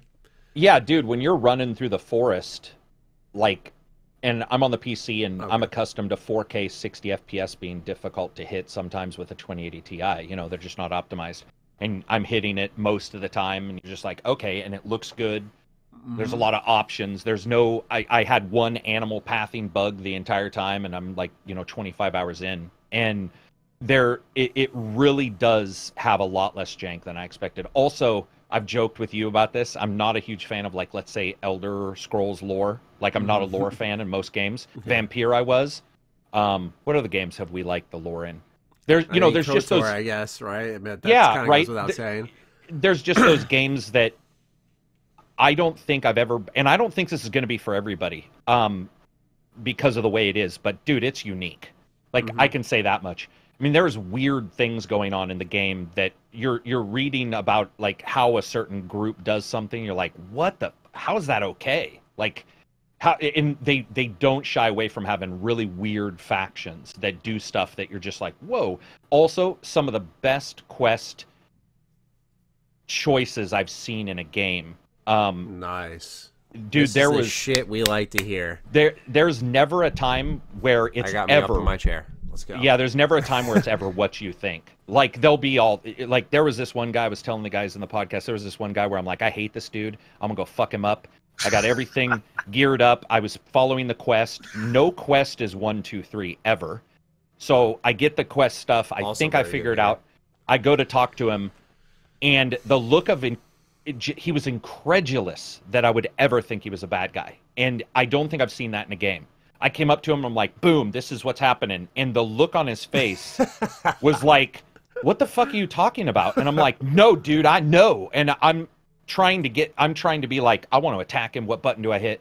And he's like, I have no clue what you're even talking about. And then I start talking to him. I'm like, You start to he feel has, weird. dude, yeah. And I'm like, oh shit. And you know, slowly put the sword away. And you're all, uh, what's happening right now? And I wouldn't say every quest has that, but many, many quests have multiple ways to get through them, multiple skills that might Oh. charisma might interact, and um, characters that will react depending on what you do. Uh, your characters, your NPC, uh, your player party characters. So And- they, they said they were going to like replace Bioware. Are you getting that vibe? That is a heavy, heavy weight to put on somebody. Yeah. But I will say it could be Bioware light. Oh, So, um, uh, Bioware, you know me, like I'm a big like old style Bioware, and and then into Mass Effect one and two, and then some of three. So, but yes, I mean, d- dude, there's never a time, never, where you're like, I know exactly what to do, because you'll go to a guy, and and we've seen that in other games. It's not like it's all special. It's just that it's delivered with a finesse that Spiders is not known for. and it's far Yeah. closer to a vampire or even a Mass Effect. Also, they never finish on a sentence. So, like, somebody will be all, I did this, blah, blah, blah. And in most games, that's the end, and you move on. This game, almost every single time the, the, the, the, the fruit of a conversation is delivered, there's a little, a little bit at the end where, like, they'll add something else, and you'll catch yourself going, wait, well, what is that? Does that mean then that this is going on? And so it, it's weird. What do you mean by It's- that? Like a one-liner while walking away, sort of? That's Uh, like no, of you know how you're in a group and maybe you'll get the one answer. Like, Mhm. yeah, I did it. It's never that. And Oh. even if they say I did do it, they'll be like, you caught me. And you'll be all, aha. And then they're all, because blah, blah, blah, blah. And you're like, wait, okay, what? Like, Mhm. so this guy has what's going on and even with other side characters it'll be like three guys did this you need to go find out where one of the three is missing because they're missing and you're like no problem i'm sure one of them killed him like that's what normally happens is one of these guys killed him. And you go and they're like so good. they're like blah blah blah. And the other guy's all no blah blah blah. And you're like well wait which one? And then and then the thing the sort of the tropes that you expect they've worked around. And they have a weird world. It is weird. It's like colonial it's not as colonial as people think. It's, not just- like I thought it was um, aesthetically like dressed. it is aesthetically colonial for sure. But i mean um, there are natives in the world but they're they're not anti you and you're not anti the it's it's hard wise. to Oh, they're describe not and- against you. That's interesting. See, I always Well, thought they'd be like, "Get some off our groups- land" or something like You- that. right. Uh, Some groups, there are groups that are like that, but not all of them. Additionally, armor, if you wear different armor, different factions will. So remember in KOTOR, you put on the sand people armor and you're able to sneak in. Oh There's yeah, great part. multiple ar- multiple armors in this game that allow that. So there's priest armors that allow you to talk to Yeah, people. disguises. There's uh, there's disguises, and um, the only thing I noticed that hit me as not a as a negative, I would say, is that when I got into a group with my co partner people, Mhm. when you when you talk to them, they don't have near as much to say as I expected. And that's pretty far in the game. Admittedly, I haven't romanced anybody because I hate romance in video games. I think it's I, I'm going to do it for the review, but I won't do it until I'm pretty close to the end because I just I don't think it's handled well. either. There's only one love Who? story that I liked in gaming, and uh, well, it's Kotor, of course. There, that that Bastila? Felt, yeah, felt felt natural.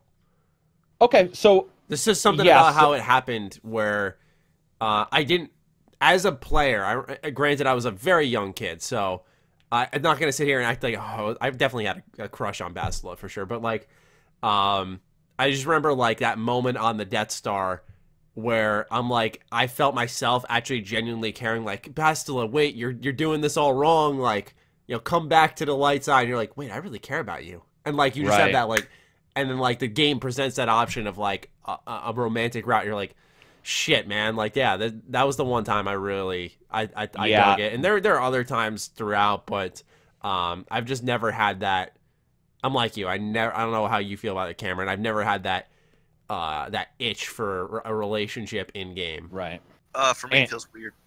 just- yeah, I, I, I don't know. I mean, I've I'm not never trying to sound connected. like it's not bad i just never connect really I'm not trying to Um, sound like a weirdo. It's just it doesn't click with me. So I always like even in Fallout's, I just never did it. i they didn't fall out are just because you know piper but hey go on they are um they're not it, it, those those parts that i've talked to them about romantic options Mhm. um are not as well written i feel than the red, rest of the game at all so the rest it's very cumbersome versus the rest of the game the rest of the game is very uh, uh, uh, it, it, there's more info it's more eloquent there's more weird oddities going on versus When sorry you- i didn't hear you the, the character versus the yeah versus the romance options it's Okay. like hey i hope i didn't make you mad and they're like no you didn't make me mad and you're like because i like your companionship and and you're just like Let's i know where this is going sex. so yeah and that is sort of what it is. So strangely enough in your party that part is not handled very well. Um but the rest of the game and the npcs you meet also i i don't know why the lore interests me but it, it absolutely does. Um it like i this is the first game i can remember in years. I always listen to the audio but this is the first time where i was like i made a couple notes about weird names that they would use for like a leader because i'm like oh what's i mean i was legit and i still am like going wait what like what's and it might also just be because this is a weird game there is hasn't been a colonial magic fucking mix You can tell it's an inspired project. I just Yeah. there's something different about it. You get that feeling with Yeah. some games when they come around where you can the product sort of like oozes that confidence and that this is something good and we believe in it.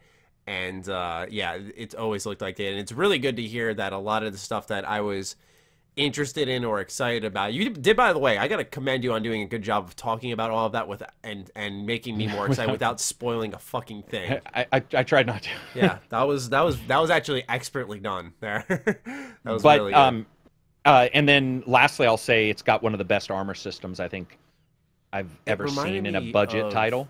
of like Unity, like with the different parts and stuff. Yeah, dude. And they they they're like it'll say like a priest part, so it'll have like a scroll, and it'll say like a hunter, which is like your feathers. But you'll see other people in the game world also having a mix, and you can literally Oh. guess.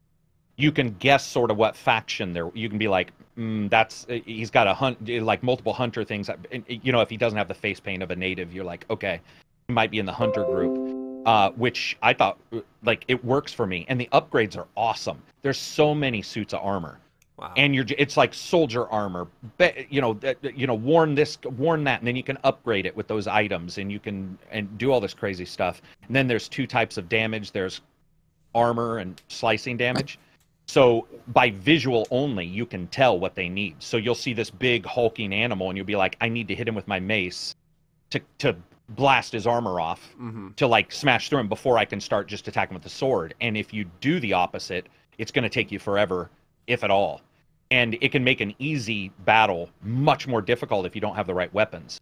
Um, and I will say the combat isn't. I think I saw some people say in Dark Souls, nah, No, nah. It's a that. soft lock on. um, you have a dodge button, and then you get a ton of skills. But some of the skills offer like Shadow Step, just like Vampire. Remember, Vampire had Oh, the best dodge you in the loved it so much you were like best dodge in the world. Uh, it's Oh not the best bro. dodge in the world, good. but it does remind you of that physically. Like there, it, it's had called Shadow. I think it's it. called Shadow Step, even. So it's like yeah, something like That's that. good. Um, you can't be and then- vampires though. They did like a special. Dude, like, it I think the FPS changes So, for that. Yeah. Yeah, I- I that thing was Oh. insane. It looked so good. Um, and then combat is, uh, you know, combat's good, but it's not Dark Souls. It's not people like don't get your hopes up. Like I said, Why it's a budget title. Souls from that. I, th- I thought it was good Well, that it looked a little more Fast I agree. paced. And Yeah, it looked it- like enemies weren't spongy, which is an issue that Bound by Flame and Technomancer really had. Yeah, I didn't see any enemies that were spongy. It depends on the difficulty, though, because I will admit, Mm-hmm. uh, when you put turn it up in difficulty, they uh, you have to make sure your weapon is like upgraded. Right.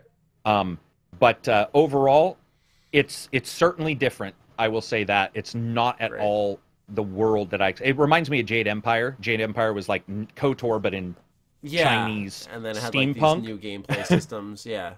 Yeah, and so this is sort of the same. It is dreary as fuck, though. I'll just say it's got that.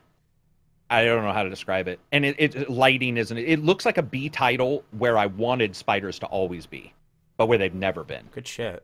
and Alright. if that makes sense, you know. So Uh, yeah, Cameron, are you that's it. are you interested at all in Greedfall? Oh yeah, definitely. Um, Nice. it looks amazing. You know, from what I've seen, it's something different, and I've really been looking for, you know, something along those lines. Mhm. Uh, something just, you know, not all the way out of the weird. Like, what the hell is that? But like something that's like, okay, it's got elements of this and this, but it's got a different universe. And I think it, it looks good. It looks good, uh, especially you know after what you. I was just like zoned out, just like listening to what you were talking about, like. This character and this, I was like, oh, is he about to say a name? I was like, who is it? Who? What did they do? what happened?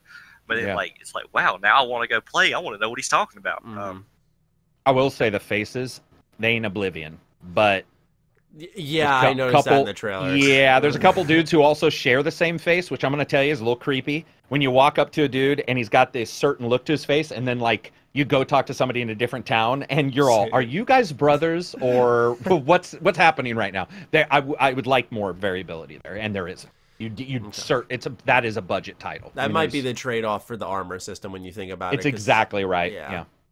Awesome. I'm glad to hear that it's really good. That that would categorize into the game I'm really looking forward to. I really think it has eclipsed uh, the excitement I had for Borderlands 3. But I, I said this during my my Twitch stream because a lot of people were like, every time I stream on Twitch, uh, you know, I always get asked about who I'm playing as in Borderlands 3. Am I excited for Borderlands 3?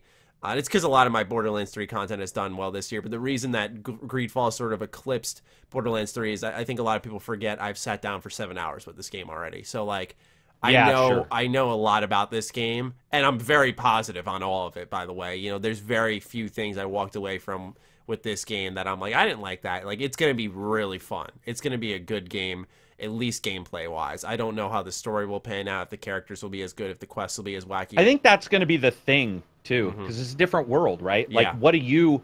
You may not be as excited because I'm into history. So, like, what are you gonna? yeah. I think quest wise, you'll probably like it. I don't see you. I would be. We'll have to have a talk because then we'll have to be like, why is it that Oh, we're gonna have like like a spoiler chat. We have. To. But I'm what I mean is, I, if we disagreed on that, that would be really weird Mm-hmm. because I think I know overall what you and I we have we align on those. Um, but I, I could see people being like the world's not as interesting, you know, because it is colonial. That's it is Yeah. weird, you know, because Yeah. we've never seen that, right? Have we seen? Oh, Fable. The Fable games have definitely with their tricorn hats at times. Mm-hmm. Fable they definitely a, more, a little bit more goofy, though. I guess would be the Yeah, right- very much so. Yeah, Yeah. It, it, where Yeah. where Greed falls. there ain't nothing goofy in this game. Yeah. That's why though I I, think that. because of the mystery of this universe and how I'm so familiar already with Borderlands 3, I think it just Greedfall's kind of eclipsed with excitement. It's just, you know, it's yeah, new. I get you. Um, and it's what happens with, with press previews. I let people all know all the time. It's like, you know, there is a sense of familiarity. It doesn't diminish my excitement. It's just like I've gotten a taste of it. Like I know what it's like.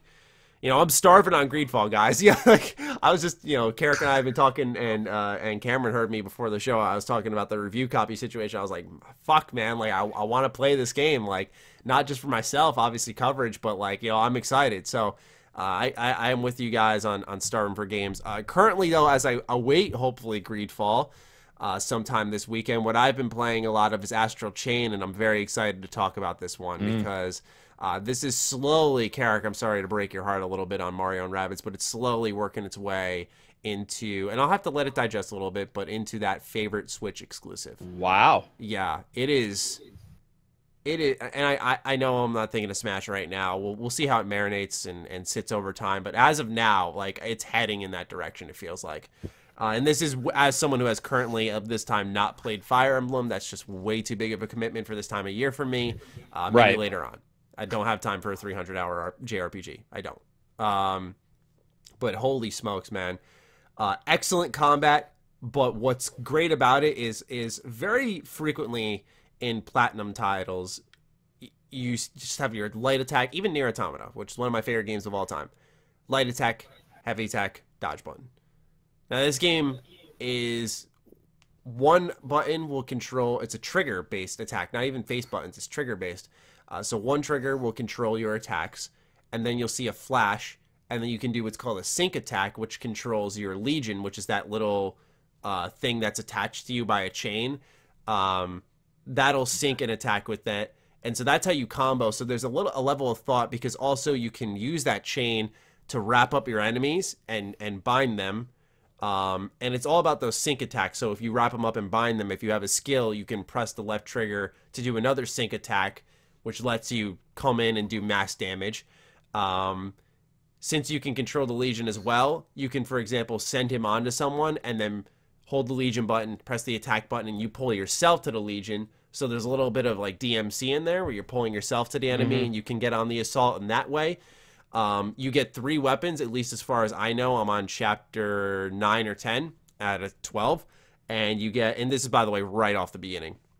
You get a longsword, uh, you get an X baton, and you get a gun. And each of those plays completely differently. Obviously, the longsword or the broadsword is more of a slower, heavy damage dealer. Still viable though. Uh, baton's more of your medium, uh, average damage, solid attack speed, flashy looking, kind of typical platinum games. And then the gun you can use at a distance. And why this is all good is because you have five Legion you can cycle through, which have not only their own skills uh, in the terms of combat where they do different things for you and protect you in different ways, but they also combo differently with each of those weapons. So if you use a gun in a Legion that is uh, bow based, arrow, bow and arrow based, your combos with them are different and more range based versus if you used a sword and the bow and arrow legion or a sword and the beast legion or the broadsword and the axe legion, the combos change constantly, and certain ones are. It's not like you're targeting weaknesses, by the way, but certain damage outputs are more viable against different enemy types. And there are uh, an extensive amount of enemies to take down, whether they're flying, there's enemies that ground themselves and they create a shield for other enemies. So you have to take your Beast Legion, which is like a dog, and send him to dig them up, and then you can attack the person creating the shield. Or if there's a shield guy in the sky, you shoot him with the bow and arrow. There's a lot of variety in the enemies. So, like I said, this this amongst probably other systems I'm not thinking of right now, uh, create a very thoughtful combat system. But what really surprised me the most about this game was that there's actually a well realized universe here. Uh, the story, and I'm not, number one, it's I'm 18 hours in. Like this is not your typical platinum games six hour, six to eight Right. hour campaign. Uh, it's lengthy, uh, not super long, but it's it's lengthy enough. Like it's probably a 20 to 24 hour game if you do all the side content. Um, there's side missions throughout. Uh, one of the issues, though, uh, before I get into the story a little bit, is that you do revisit some locations, which is sort of why I said I'm a little unsure and I have to let it sit there because around chapter 8, um, they're like, okay, you're going to Harmony Square. I'm like, this is the third time I've gone here. And each time it's different and you explore the level differently and events in the story have happened to change what's going on. And there is a purpose for being there narratively, uh, but it is still that same location. And you do make note Gotcha. of that. Um, but what I was getting at with the story is it's actually solid. Um, I don't think it's as character driven. It's more so just an awesome universe, well realized. There's a lot of lore in the game. Uh, you can unlock more entries in the database by taking out your camera and taking pictures of the Chimera, which are enemies you fight from this astral plane, or people in the police station. Um, there's a level of customization, upgrading, skill uh, assignments. There's a progression tree for your legions themselves. You can change the color scheme for them. You can change your outfit for your character. It's a it's a very impressive game. It's a lot more than I expected. Um, it's like I said, it's not a combat system you can just pick up and be good at. You you have to get used to it. And what's awesome about it, at least for my taste, is it's paced differently. There are times where you walk around like a little hub area and you're doing police work like you're you're getting you're in, interrogating people you're getting you're taking notes and then you'll revise with your partner and, and you'll sort of put the mystery together and you'll start chasing down the next clue. Um, so there's a pacing where it's not always just combat combat combat which has been a complaint for folks but i feel it's been good for this game because it allows those moments of combat to flourish because when it really starts to there's one chapter where you're sort of just doing busy work and does beat you over the head with a ton of combat. And at that point it does get a little mind numbing because it's like okay this is just a shit ton of the same thing where it's a really strong game because of how it paces itself and delivers and unveils and creates a universe and respects it and clearly they care about it you can tell.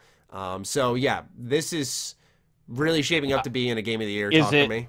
Is it uh, real time combat? yes Is it control? Uh, like, what's the Well- response like? Is it like a DMC speed of response? Is it like Bayonetta? Is it? I mean, what's like I'd how say- fa- how how twitchy it or I'd not say, twitchy? I'd say but, in know. between because it's still that uh, when an enemy attacks, you'll see like a red flash. It's like okay, dodge, dodge it at the right time, perfect dodge. You can counter attack but sometimes uh, I, I'd say I'd put it in speed between those two actually because I think Bayonetta's a little too fast. I think Devil May Cry is a little slower depending on if you're playing as V or Dante or Yeah. Nero. It really depends, but. Um, the reason I'd say this game isn't actually as fast as I think people will expect is because it depends on how you play it. If you're using the gun and the bow and arrow at a distance, which by the way is a viable option in the way the enemies are crafted, it still is challenging. Um, it it just I guess depends on on on how yeah how you approach combat because you can slow it down as much as you want and for example control your legion to bind up an enemy or control your legion and activate one of their abilities like we'll stick with the bow and arrow guy so I don't get too spoilery about everything but he has an ability called hit shot which each of these legion have by the way. But his hit shot is he just takes out both bow and arrows from his hands and he just starts firing away for like 10 seconds just constantly like boom, boom, boom, and he's just doing 5 damage 5 damage but it's like 80 times over. And so you're staggering your opponent and now you can approach differently so you can take that aggressively or you can sit back with a gun and keep shooting them it's up to you um, but when I me- I should mention when I say like you can take out a gun, it's not like it turns into a third person shooter. Uh, the game has an you can either lock on or you can auto lock, uh, where Mhm. where the game targets for you, which is reliable enough. Um, although sometimes camera can be a little finicky, but um, yeah, it, it really depends on how you approach it. It is still a fast game, but there are times where if it becomes a lot, uh, you can slow it down, which the game usually has a good feel for.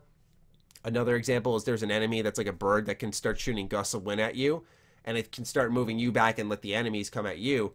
So what you can do is take out your Beast Legion and press L, and you'll hop on his back and you'll start riding him. And now the wind resistance is gone because you're just riding right through it, and you can approach that enemy, attack them, uh, and start taking them out. So then you can focus on everyone around you. So there's a level of thought there, and for that thought to be there, you sort of have to just temper it down a little bit. The way they create their fight arenas, um, it's it's really it's really well thought out. It's, it's Is super it uh, is it graphically? I the streams I saw looked like it was graphically a like a a lot on the screen and sort of like Bayonetta, where you're all fuck, this is busy. Is it? And, It is- and can it be played on handheld? Have you been playing handheld? I have been playing handheld. I actually played it docked for a couple of hours, and I'm just one of those Switch owners where I feel weird unless it's Smash. I feel very strange playing it docked. Okay. Um, but it, I adjusted. It felt fine docked. I've been playing it mostly handheld. It is a busy game, but it's not a Platinum Games title where, uh, in Bayonetta arenas, at least when I replayed Bayonetta 1 last year, you know, the, or, or Nier Automata, I replayed that earlier. There are certain parts where they will hit you with a lot of enemies at once. Um, and, and this one will send like four or five enemies at you, and that is considered whoa, that's a lot, or two very large enemies, and that's what I like about the game. It's a lot more. Uh, I'll use the word again, thoughtful.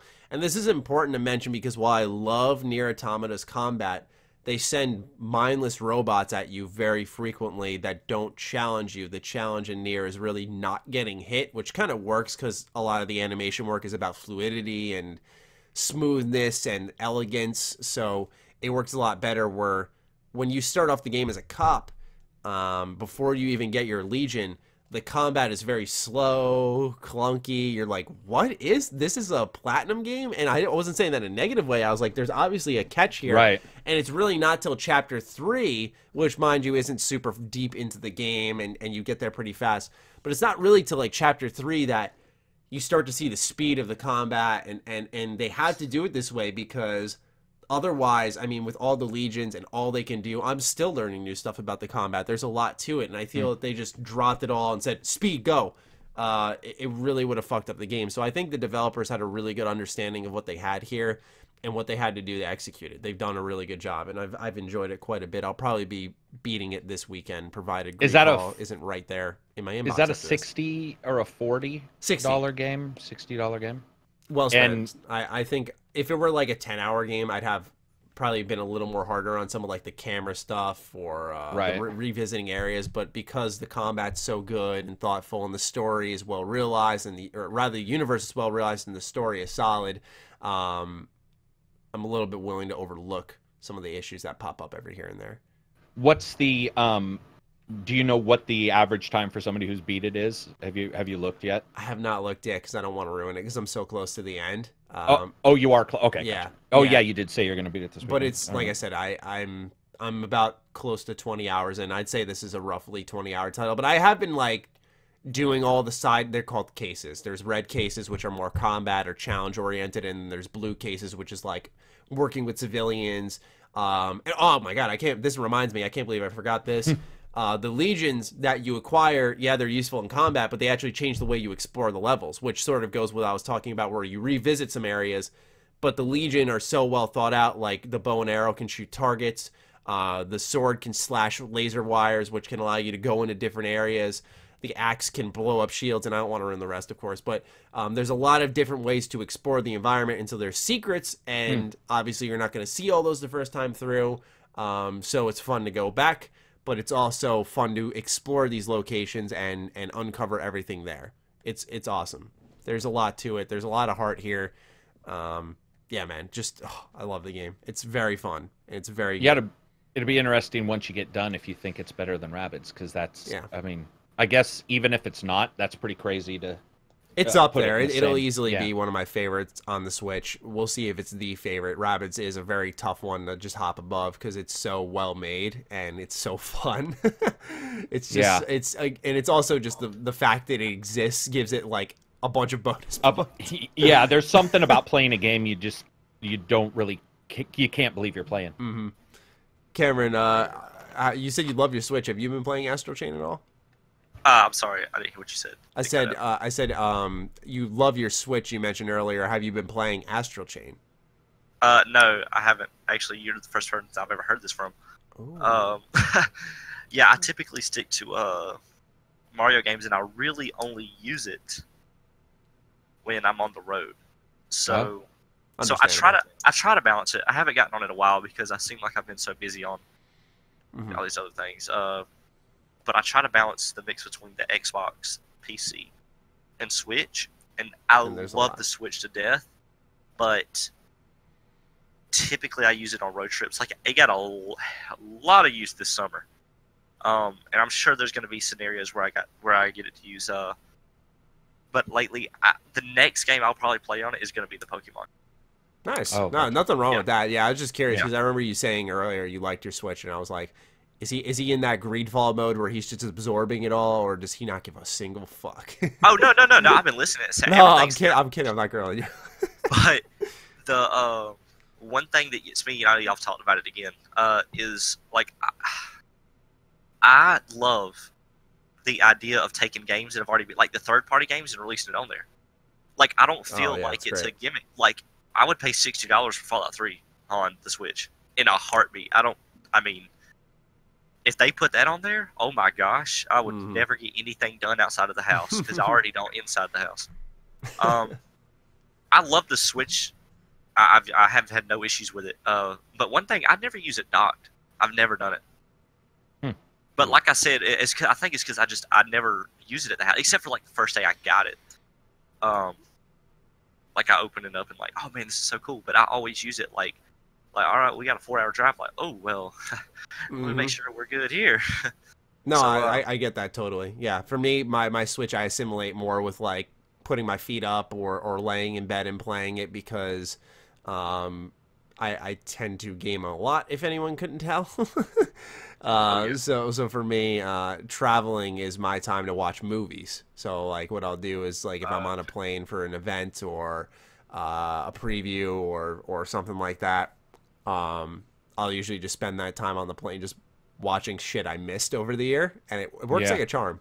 I, I watched like all of the Creed movies. I watched Aquaman, uh, Chappaquiddick. Like I just watched all these movies. I'm like, oh, this exists. All right, cool. Let's watch this. Like, because I'm not a huge movie goer. I've improved, but um, yeah, it's I, I get what you're saying, man.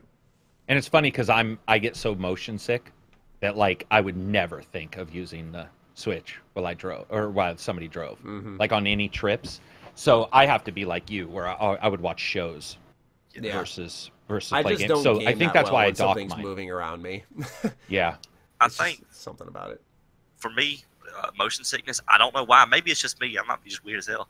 Um, in a third road vehicle, uh, like an SUV, I cannot do anything on my phone if I'm in the very back row. I do not know why.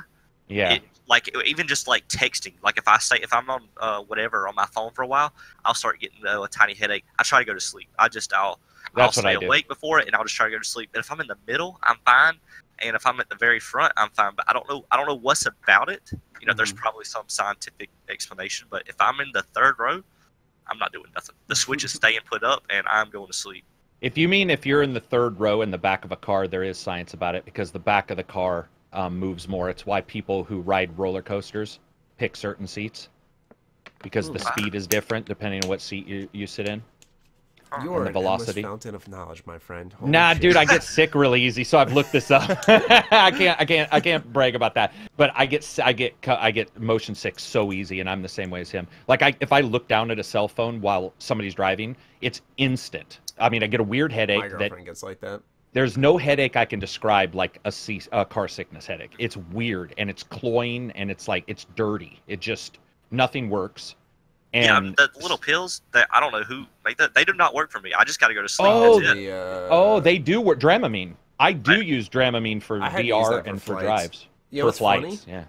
You know, it's funny you mentioned that. Uh, I get them in the weirdest things. I remember one time I got uh, vertigo f- from uh, a oh, what was it? An inversion table, and anytime I put my head flat on my pillow, it would feel like the blood was rushing to my head. Really strange. And then I got Yeah.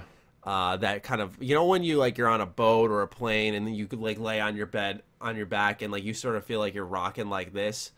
I got that from being on a subway. I don't know how. I Yeah. did Oh, that. weird. Yeah, and I ride subways a ton. I was like, what the fuck? Like, why? I've done this so much. Uh, I get them at the weirdest times and in the in the weirdest, most extreme ways at that. Yeah, yeah I hate. I, they're they're horrendous to get hmm for sure. But that's why I don't use mine. That's why I'm so accustomed. That's why I always ask about docked because that's. Yeah, Just you, how you'd I- be I fine play. docked. It looks good docked. Um, Oh, what's the res? Not that you look at res, but I mean, does it is it more about the special effects or is it like a high definition picture? Like which I think the, the, art. two? I think the art style sells it a lot, so it's more like particle effects that are are flashy and cool. Um, Cool. There's a lot of color, so it sort of splashes the screen uh, with Mhm. a lot of things happening.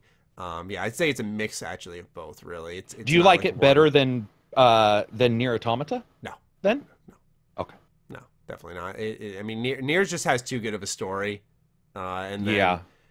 even Nier has its flaws. Like I said, it's it's combat I love, and that was one of my biggest issues is that I wanted a more challenging enemy to fight against me, which Astral Mhm. Chain provides in abundance, and it's very fun.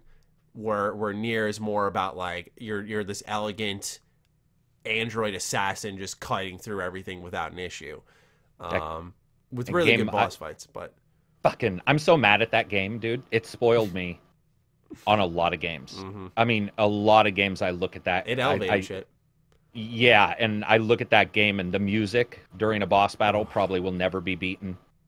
Like Yeah. there's there's a lot in that game that's just it's ridiculous. There's a lot of that in Astral Chain. You'll be happy to know. Oh, okay, boss cool. fights are they have two boss fights in Astral Chain, which are easily my favorites from Platinum Games. Like Oh. just really good. Like because a lot of it always with Platinum Games was just mashing away, getting your distance, mashing away. But this is like targeting weak spots, reading enemy movements. There's thought in there, and I Mhm. I don't know. There was always some level of thought, but you could just get away with what I did, which is just light, light, heavy, light, heavy, or light, you know? reaction too. Yeah, exactly. There's Not as much looking. Watch the enemy, and uh, you have to interact with your environment differently, and it's just it's great. It's great. Did uh, I, uh, speaking of the the boss music, that just instantly. Did y'all ever play Pikmin like on the GameCube or the Wii with like the little onions you have to grow? Uh, the boss, like yeah, it was like a kid game, but I love that damn game. A lot of people like it. um the boss music and like the original ones I, it still sticks with me it was so intense maybe it's because i was a kid uh, that could definitely be it um but that and halo's music stick with me or like Yeah. like the not necessarily the you know what i'm talking about like the sounds and everything it just Right. it sticks with me Yeah, there, there are good tracks there. I've never played Pikmin personally, but Halo I can attest to. I've played Yeah. a lot of freaking Halo. oh yeah Segway check. uh actually i got one thing i don't know how i did not remember earlier uh this game's been out for like two years now i think uh deceit have y'all ever heard of that it's like a Deceit? like a horror multiplayer free to play online game that not graphics are not great Seed. deceit like deceit like that Like was very deceived us? Oh, deceit. No, I, I've not heard of that. Okay so it's like a game you play with your friends and uh, i think there's six or eight people and uh, there's timers. You have to there are two people or like these infected zombie things and during the lights the lights will stay on for a minute. You go around you gather equipment and everything and uh, the zombies are they show up like humans. When the lights go off they can then transform into the zombies and so they get they in order to transform they have to drink blood from these little bags well you don't know who is the zombie so you have to go around and it's amazing playing with a full lobby of your friends because you're just lying like oh yeah it's he he's the zombie he's it he's like oh no you are um I can see. Yeah, that makes and sense. it's it's I don't know. It's the simplest game ever. The graphics are not great at all, but it's a free to play game. I've been having an amazing time with it. interesting. Awesome. I've never heard of it. It's definitely a, it's a unique game mode, but uh, it's really fun. Wasn't there a game that was really popular on YouTube in like 2014 or 15? It wasn't it like someone had like a it's the same thing. Like you were trying to find out what person in a lobby had. I think was it like a weapon or something like that, and, and I don't remember what it was called. I don't Oh, remember this, that one. this is gonna bug me, man. Oh my god. A lot of you, I could have sworn a lot of YouTubers played it, and, and it was about just like figuring out, like I think people like would work as teams secretly and Oh, Try to ma- figure out who was lying. Who was lying yeah, about it. yeah. Please, someone like tweet at me or post it in the comments. What was that game? The best I can describe this is like Clue, the board game. Yeah, But- no, that's what it was. Yeah, it was like Clue, but but like Yeah. You don't. It's like you're actually playing it, and it's not. It's like you know they're infected, and you got. You'll sit there and watch somebody, and you'll get all the way to the end. And Mhm. like yesterday when we started, I was infected, and I told everybody, I was like, "Hey guys, I'm infected." Everybody thought I was kidding. So Mhm. at the end, I transformed and got everybody. uh, and I was like, "Well, I told you I was infected." They're like, "Well, shit." You know, they're voting people off. You can vote people off who you feel suspicious about. hmm Um, Hmm. It's a really fun game. That sounds awesome. Yeah, let me let me know in the comments, ladies and gentlemen, or tweet at me. I'm curious what that game I'm thinking of is. All right, last segment is patron questions. This is where you get your chance to submit and ask us anything. Your chance to shine, baby. Pretty much, yeah. And what we're gonna start doing over time. Uh, this this week we didn't have a ton of questions, um, but what we're gonna start doing over time is if these questions work with the topics we have, um, which is why submitting so much like we've had these last couple weeks is important. Is uh, we're gonna start putting them with the news topics. So if we're talking about Nintendo Direct, and there is, I'm not sure yet. We we kind of read these on the fly now.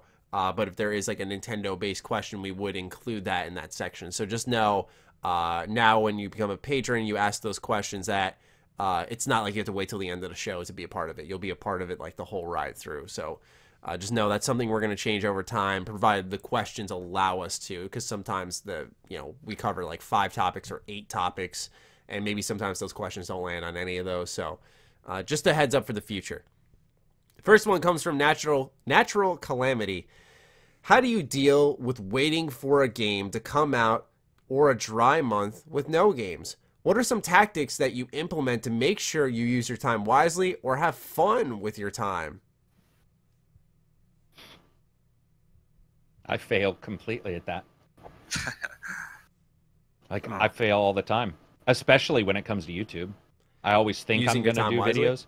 Yeah, dude, it's su- like when because because I just I always have an idea for some side video or whatever, and then if Mhm. there's nothing, I'll end up loading up DC Online Universe and playing DC for like another 60 level character. I'll be like, what am I doing with my life? I mean, there's nothing wrong with that because that's a defrag, but you know what I mean. Like I where I I don't. Yeah. I'm not. I'm See, I'm not very good on some of those dead times. but it's good you're not because I fail to do that and defrag. And sometimes, like right now, like I'm already kind of feeling like I was like I was gonna stream after this, and I can kind of feel because I've like been overloading myself. I'm like I just kind of want to after this eat and just Yeah. relax and Right. decompress. And that's because sometimes I don't pace myself. Like I make Right. to do lists, and I'm like I got to do all this today. I don't think like oh tomorrow morning is now free. I can just do that. Then I'm like nope, got to do it all today. So. Uh, yeah, when it comes to using time wisely, I don't know if we're the best people to ask. I'd say I guess find we're both bad. Yeah, find an in Yeah. between of not overstressing yourself and uh, and, and and and not going on to DC U- Universe Online and, and playing for For sure. amounts of hours. Do you have any tips for uh, time management, Cameron? Um, well, about the about the dry month games, uh, kind of similar to that. Like you know, the NFL started yesterday, the actual season, and the first Cowboys game is Sunday. Okay, the last week has been god awful. It has dragged out forever. Like I mean, I'll look at the clock and be like, man, it was one o'clock two hours ago, and it's one o one. Um, Mhm. so as far- as using time wisely, I've always tried to make the most out of my day. Yeah, Uh, not try like I love going to. I've started going to the gym. Uh, nice. trying to get in shape. Uh, I'm between jobs right now. I just left and I'm working to get into another one. Uh, uh, so lately I've been trying to. If I'm not doing something productive, I feel like you know not all the time. Sometimes I want to reward myself. Be like, you know what? I'm just gonna play video games all day. Like, uh, but very rarely do I ever do It's a that thing, yeah. uh, like I would like to learn how to do something. I, that's a huge thing I like to do. You know, whether that's building something, you know, using tools, or you know, like you learning the creation kit, uh, you know, something like that. Learning how to do something new. Like the other day, I was bored. I was like, you know what? Let's let's figure out how to do lighting. So I looked on YouTube videos, and by the way, people, you can do anything on YouTube. Like you can figure out how to Mhm. Yeah. do anything, but probably a transmission. That's just because I wouldn't touch one. Um, but there's probably a video up there. So I try to make the most out of my day because you know you you, know, you only live once. But I'm trying to I try to stay productive the best I can. And you know, some days you don't. It's just a slack day. Um, but I try to, as far as the games go, I just try not to think about it. Like yeah, Fallout that's 4, what I you know, do. And like just let, I just let it sneak up on me. the longer it comes up, the longer it was coming to it. Oh my gosh, it drug out for so long. And you know, it goes with all kinds of games. Like, uh, I've been trying not to think about Outer Worlds at all. I've been trying not. I've just zoned it out. Uh, I'm really excited for it. I've been trying not to think about it. You know, type it up. What are they doing? Like, what's what's the motive? Uh, I just try to like. It's like one of those feelings. Like, oh man, that that comes out next week. That's awesome. Yeah. And you know, Yeah. typically it's the weeks time spans that I struggle the most with. Uh, time can fly by a lot faster with me if it's like a month away, but when it Mhm. gets really close, it drags and drags and drags. Yeah, I, I feel you on that, man. Because I, uh, what I do usually is I do put it in the the back of my head a little bit because I feel like okay, there's nothing I can do to fast forward time, so I'm going to focus on everything now and just let that day come to me, and it, it, it's always worked. Uh, in, in turn, though, ladies and gentlemen, it does sort of diminish your initial excitement when you get a game because you've just forced. it. For me, I forced it so much into the back of my head that I'm like, when it comes, I'm like, all right, cool, like finally, you know. eh, But it's not like that. Yes, oh my god, like I'm jittering outside the front of the uh, fucking GameStop, like waiting for the waiting for the physical copy to touch my hands, like. You got ten up a Yeah. week away. I just, I just, yeah, I just don't have that in me as much as I used to. Um, I guess I get more calming enjoyment out of it. Like, uh, I remember with the Xbox One launch, I was outside GameStop at like 3 p.m. waiting. Like, I was just kind of like sitting there smiling. Like, I wasn't like, oh boy. Like, I was like, I was just chilling. I was like, this is kind of cool. Um, but that's just my general approach to life. I've always been a very like relaxed person like okay we can't really do much about this. What can we do? It's like okay game's not going to come out on a different day. It's not going to come earlier. Yeah i can't wait but wasting my emotions on those feelings isn't really worth it to me so i'm going to go do something. And i just kind of forget about it and the days fly by and it's like the outer world ladies and gentlemen let's look at the outer worlds it was last december it was announced now i don't know about other people it feels like it's dragged but like i can't believe in a month we're playing that game you know that's crazy to me and maybe now that I say that, this month will take forever. But uh, you know, like i- it's insane how quickly that we've gotten to that that release date. It's the Um, twenty fifth, right? yeah, October. yeah, the Okay, twenty fifth yeah. of October. So it's like one of those situations where that's how much I put into the back of my head. When there was coverage, though, it was exciting because it was so in the back of my head that I was like, oh, I can talk about it now. Sweet, like let's get in on it. Um, but the way the industry's handled, it's not like you know you mentioned the Fallout Four days, Cameron, where I felt like every day, every day, every week there was just shit to talk about outside of I think like August. I used to joke about how it was like a drought. Yeah. Like, it was just constantly something Fallout 4 related, speculation, discussions, trailer analysis, I loved it. Comments. Yeah, it was amazing, but there was I never eh, maybe because I was so deep in it, but there was just nothing like that. And so I think a lot of my audience is is from that era. and uh yeah, man, I, if you're having trouble waiting for a game or there's a dry month with games, I'd say try an indie, try something short and sweet and then go do something different. You know, get that satiation or satiate that thirst to get something new at a cheap value that is very good and then like build your day around that. Like say like tonight I'm gonna play this indie game, but before that I'm gonna do this, this, this, that. Most of my gaming goes from 7 p.m. onwards. I do I don't really game during the day at all unless I'm reviewing. Um, it's very rare. So I think the last time I really did like a major gaming session during the day was Mortal Kombat 11 when I reviewed it. All right. Let's move on to the next question from Knucklehead. What game mechanic do you think would be hilariously bad if implemented in a reverse way? I think it would be funny as hell to have an oxygen meter that only appeared while you were on land. I don't know if I got a good answer for this one. To have a what if only appeared on land? Say an that again? oxygen meter to appear only if on land instead of like you go underwater in most open world games and Oh, like you're a merman? yeah. That would actually, that could actually be cool. But then how do you make it like? Is it an open ocean game? It's not really. Open. Yeah, right, right. Hmm. If you think of mechanics. That, The like, problem, I'm I think, like, with oh, VATS, but it targets you. Like, what does that do? Is that how you feel Yeah. with the stim pack? Yeah, that's sort of a it, it's sort of a what would not work kind of question to me. Um, having Like, to oh. place grenades instead of being able to throw 'em. like placing I don't- instead, like throwing mines, placing grenades. Yeah, like you got to run up to them, and because I never use mines in games, like I never use Oh. a mine in Fallout 4. So like for me, it would just be something. I don't know. That's a hard question. Hmm. You and I play the same. I, I don't think I've ever. I, it's been. I, I don't remember ever placing a mine in Fallout 4 or almost any game. If I get a mine in a game, I usually am like, what? And then if I can break it down or sell it, that's Yep. that's what I do. I just Same. don't work that way. Traps, same way. They'll be like, this game you can put traps down. I'm like, fuck that. That requires forethought, man. I ain't Yeah. into that shit. Yeah. I just I I'm not good at it. Hmm. Hmm. Man, I don't know if I have a good answer for this. Pokemon, but instead of the Pokemon fighting, you come out and fight them yourself. you like you like punch the you punch like a Squirtle out, and then you just put them in a Poke. That's actually fucked up now. Having to would like having to charge your phone in video games would that work? Like GTA, like if you had to charge your phone, but like you had to leave it there for a while. I guess he's asking though, like, is a mechanic that's in place. I was like, what, what's reverse Yeah, catching a Pokemon? It's like, okay, you fight instead of them. I don't know. Like, that's that's uh, like messed up. Uh, Monster Hunter Oh. World, but you tame them. oh, uh, Yeah. Pokemon instead of like you going after them, like you're running away from them. Like they're Yeah, all trying, yeah, it's like they're all horror trying to be run by you, but you're they're like, no, I want you to be. I'm like, no, no, you're like you're constantly on the run trying to stay away from them. That'd be so funny. As they're trying to catch you. Yeah, that's a thought-provoking catch question. Yeah, I don't, I don't know. I don't have many good answers for that. Mario trying to get stomped on by Goombas. you can't jump. They jump. Yeah. You have to run around. Oh, Interesting. Good question, Knucklehead. Uh, It sounds like I'm insulting you, but I swear that's your username.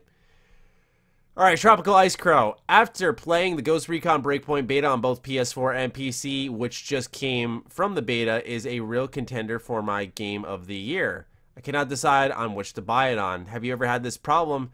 And any tips on deciding which platform? One of the outstanding features is with a press of a button during play, you can remove all HUD elements, minimap, mission, and ammo. Yeah, that's cool. Hmm. I've heard lately. I've heard I have a beta code for it. Um, the way they're handling the codes, you have to go to like the Ghost Recon site, redeem them, and then download it. And my friends, because they gave us four, my friends are having trouble with it. So we were supposed to play it tonight, um, but that'll probably be tomorrow. Um, have I ever had an issue of deciding what platform to play on? For me, I look at it this way: my Xbox sits there. I'm sorry, Xbox. You sit there. Um, Switch is portable. PS4 is my social machine. You know, I sit like I'll, I'll play games that I can play with my friends, or I'll go on there and talk with my friends while I play a game. And then PC is is like review system, um, just to get the best quality video if the code is provided for that. I am not picky with. Pardon me. I am not picky with platform. I'm just like, give me a code for whatever, and I will I will take it as long as it comes early. That's how I've always approached it.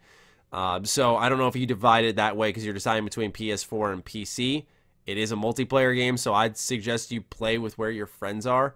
Um, I that's how I that's how I decide via platform though. In answer to one of your questions, do, do you guys ever have this issue, or are you just like give me the game?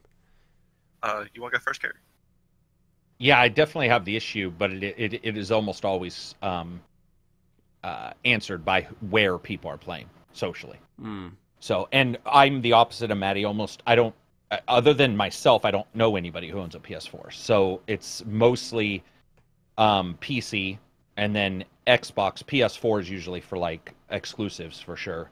Um, And certainly if somebody wants to play, but it, it's the same way as Matty does it, where it's like I look at where my friends are and I'll ask. I'm very vocal, but it's like, I mean, I've sent out emails or the Discord. yeah, if it's I always Discord, people schedule will be that like, with my friends. yeah, it's like where where does everybody think they will be? and then I sort of go from there. And I'm like Matty, where it's, uh, when it comes to review code, it's just whatever they give you. You almost Yeah. it's so funny because you'll get people go like, "Can't believe you reviewed on blah blah blah," and you're all, "Dude, Mhm. half the time I don't have a choice. Like Mhm. I'm just happy to They're get like, the code." why'd you If play this on Xbox? I'm like, that's what they gave me. Yeah, know, exactly. What am I gonna do? Say no? Give me this? Like, fuck. But I think for me, it's for sure the same. It's social, definitely social. Mhm. um for me it goes it- it's it's going to based on what the title is. Uh there's certain games i want to i play more hardcore on when i'm on my computer. Like i actually sitting up you know looking uh halo madden minecraft. I'm gonna play or well minecraft is kind of both ways and i rarely play that. It's with friends. Um those i play on the xbox because when i play halo or madden i'm trying to chill you know i'm not trying to strain my brain. I'm trying to sit in bed or in the chair and chill. But when Mhm. I'm playing, you know, something that's very graphic demanding, like, or if it, if I feel like it, like Ghost Recon, I would put that on a PC. For me, that's what I would Yeah. do. Right. Because I want to get the most out of it I can. Whereas something with Madden, I'm like, it's Madden, dude. I don't really care. Yeah, yeah, I get I- that. Yeah. Yeah, it depends. Like for me, like as you mentioned, like you know, this, these are my games for chilling, and I have games for chilling. But like my Switch is more of my chill machine. Like I just like laying in bed and playing it because it just. I think part of it's like a comfort thing. Like I just really remember like laying in bed when I was a kid with the Game Boy Advance SP, laying in bed with the the PSP, like just enjoying the most comfortable spot in my entire house with my favorite gaming systems. And uh, you know, the Switch is so, slowly turning into one of my favorite gaming systems uh, just because of its support and its story and, and and its first party exclusive. It's just been a lot of fun to have. Um, but yeah, that's like the system I view as like the chill machine. It's always been that. Or like if you go over a friend's house, you know, you're sitting on one couch, they're chilling on another, you're just like playing. I don't know. It's just something about it. Comfort, comfortable. Uh, R. Jamie. Do you ever get the feeling, get the I didn't study for this test feeling, but with video games? For example, I haven't played the Fight for Sanctuary DLC in preparation for Borderlands 3, nor have I finished Gear 4, Gears 4 in preparation for Gears 5. And I've had ample time to do both, but I've been playing other things to prepare for other things. My girlfriend gives me shit because she says I have enough to worry about without having to do homework for video games. Oh man, this is a good question. That I didn't study for this test feeling with video games. Yeah, it's really hard to like sling yourself into a Borderlands 3, which while it's getting mass marketing and appeal, you really that's a game you really gotta know about the previous two entries and the DLC. Not like all the DLC. I'll, I'll be the first to say most of Borderlands 2's DLC sucked outside of Tiny Tina. Um, but but when it comes to the actual like Fight for Sanctuary DLC, which by the way isn't long, you can get away with our, our Jamie. You can get away with with playing that real quick for a couple hours. That's not really homework per se. If you got a few hours to spare, play that. Um, but yeah, man, I I've been there before. That's why like when people always ask me like, dude, you're a big RPG channel. Why aren't you talking about Vampire the Masquerade 2? I'm like, I've never played the first one. I, I played it for a few hours. It's a great game. I give people a recommendation, but I never beat it. I, why can I? Why would I sit down and talk about that game when I don't know what I'm talking about? Um, you know, so we got to do our homework a little bit more. But your girlfriend, your girlfriend has a point. I'll be honest. She has a point. I don't. I mean, I would say I definitely had it with uh, Monster Hunter Iceborne Mm. um, because I had done Monster Hunter, but then it's like I started realizing that Iceborne, you know, it's going to be bigger than supposedly bigger than the It's for the people who are Original. yeah, and all that, and those certainly pop up where I start looking at it and just being like, you know what, it's just, it's not, it's it's not Mhm. going to work. Like Mhm. I'm not gonna. Not going to be able to dive back into that. Um, and then if it require, you know, if they're especially with DLC, like even Witcher Three, the DLC for Witcher Three was this massive thing, and sometimes I'll just look at it and be like, I'm just not really interested in jumping Mhm. back into that. So it's not really a homework thing, but uh, yeah, just I think thing. sometimes it's like, are you looking to get into the game because you're interested, or do you want to be a part of the fun? Because I've seen, and I don't say that in a douchey way, but I've seen a lot of people, you know, hop into a game series because everyone else is Yeah. excited, and they're like, I don't get it. You know, Yeah. and, and so uh, that's why I'm just saying, like, you know, are you are you? In, I'm not deciding for you, but are you actually interested in Borderlands Three and Gears Five, or is it just because Gears 5's getting pretty good reviews. A lot of people are talking about. Do you just want to get in on that? um, or if you had a vested interest. I'd imagine you'll have a vested interest in the franchise because you have not played four, and four was pretty good and and was met with that was probably like the one of the better reviewed Xbox One exclusives. Um, it was a, it was a really good game. So that's just my take on it personally. Um, we've all been there bo- before, and uh, if the interest isn't there, then don't push yourself to. It's that yeah, simple. for sure. Cameron, you have any advice for our Jamie? Um, I do have one scenario. Uh, Okay. um, when I was a kid, I lo- I fell in love with Halo Combat Evolved. That's probably the first series I was like, man, I love this. Like, this is what that's my first experience with real video games. You know, that then Mario, but Halo like stuck. Um, and I played the first one. And I, I was born way after it came out, so this was not like I was getting caught up with the times. Uh, I played the second one, and I wasn't not I was not able to finish the second one because every time I got to the mission Delta Halo in Halo Two, my game my disc would mess up, and I could not play anything past that. Forgot about it for years. Halo Three was coming out, I was like, "Oh man, I want that! I want that!" Played it very first mission. I'm like, "What? How, how did this? How am I here? Like, what did this happen?" You know, uh, it was wild. And Mhm. then later, when it was released on uh, the Master Chief Collection, which I loved, it look had they did a really good job with them, I believe, um, redoing one and two, and I was like, wow, that was a really that was a good story, and now I understand more of it. Um, so I wish I would So have. you played one a lot. Oh yeah, Couldn't finish two. You didn't. You didn't like try to get like a new disc or anything at that point. well, I was like a kid, so I was playing Oh, with like my, okay. I thought was you were a little like, older. my- Okay. I was playing with like my, I was six or seven, Mhm. somewhere around there. I Okay, was yeah. playing like with my dad's Xbox. You know, we would play together, and we did. We were doing all this stuff together. And then Halo Three came out. And I got it, and I was about eight, eight or nine maybe, and I was like, "What the heck? Like, Mhm, this mhm. is just wild." Um, That reminds me of when I got uh, Oddworld Munch's Odyssey because you, you said you played with your dad on the original Xbox a lot, and that was how I got introduced to that game. Uh, my dad and I would play that one a ton. I love the Oddworld series so much. It's easily one of my favorites. And I often forget about it because there's hardly any entries in it nowadays. We see Soulstorm a little bit, and I believe that's coming early next year, which is exciting. Um, but yeah, I remember when I picked up Stranger's Wrath, thinking it was like a direct sequel or something, and not realizing Oddworld is just this wild universe, uh, and being very confused off the bat with the type of game it was, like this third first person shooter. Um, by the way, just a quick shout out that holy crap, ladies and gentlemen, if you have not played Stranger's Wrath, oh my god, that is such a good game. Yeah, it's a Car- good have game. You guys, have you guys played it? Karak, you've played it, but Yeah, I love it. never heard of it. Oof. Yeah, Oh, it's wow. it's fine. That's that's definitely like an understandable. I've never heard of it. It's it's it's really Oh. good, but like Oddworld's such a classic series, right? Like Abe's Odyssey was a really defining title for the PS1 that I think I think the guy who worked on it said like they just got lucky. Like they feel like it just released at the right time and they want Soulstorm to be that game that like really pardon the pun takes the world by storm. Um very fascinating series. Last question comes from Dan. Short list of questions this week. That's okay. What is the worst deal you have done while trading video games? I once traded Sonic the Hedgehog for Mickey's Fantasia on the Mega Drive. Still stinks. I love this question because I remembered I texted my friend. I don't have the answer, but I texted my friend, and all I know is in return he gave me the Mario 3v3 basketball game on the DS, which was like two courts, the same shit gameplay. And I gave him, I want to say it was like MLB The Show 07, I think, on the PSP.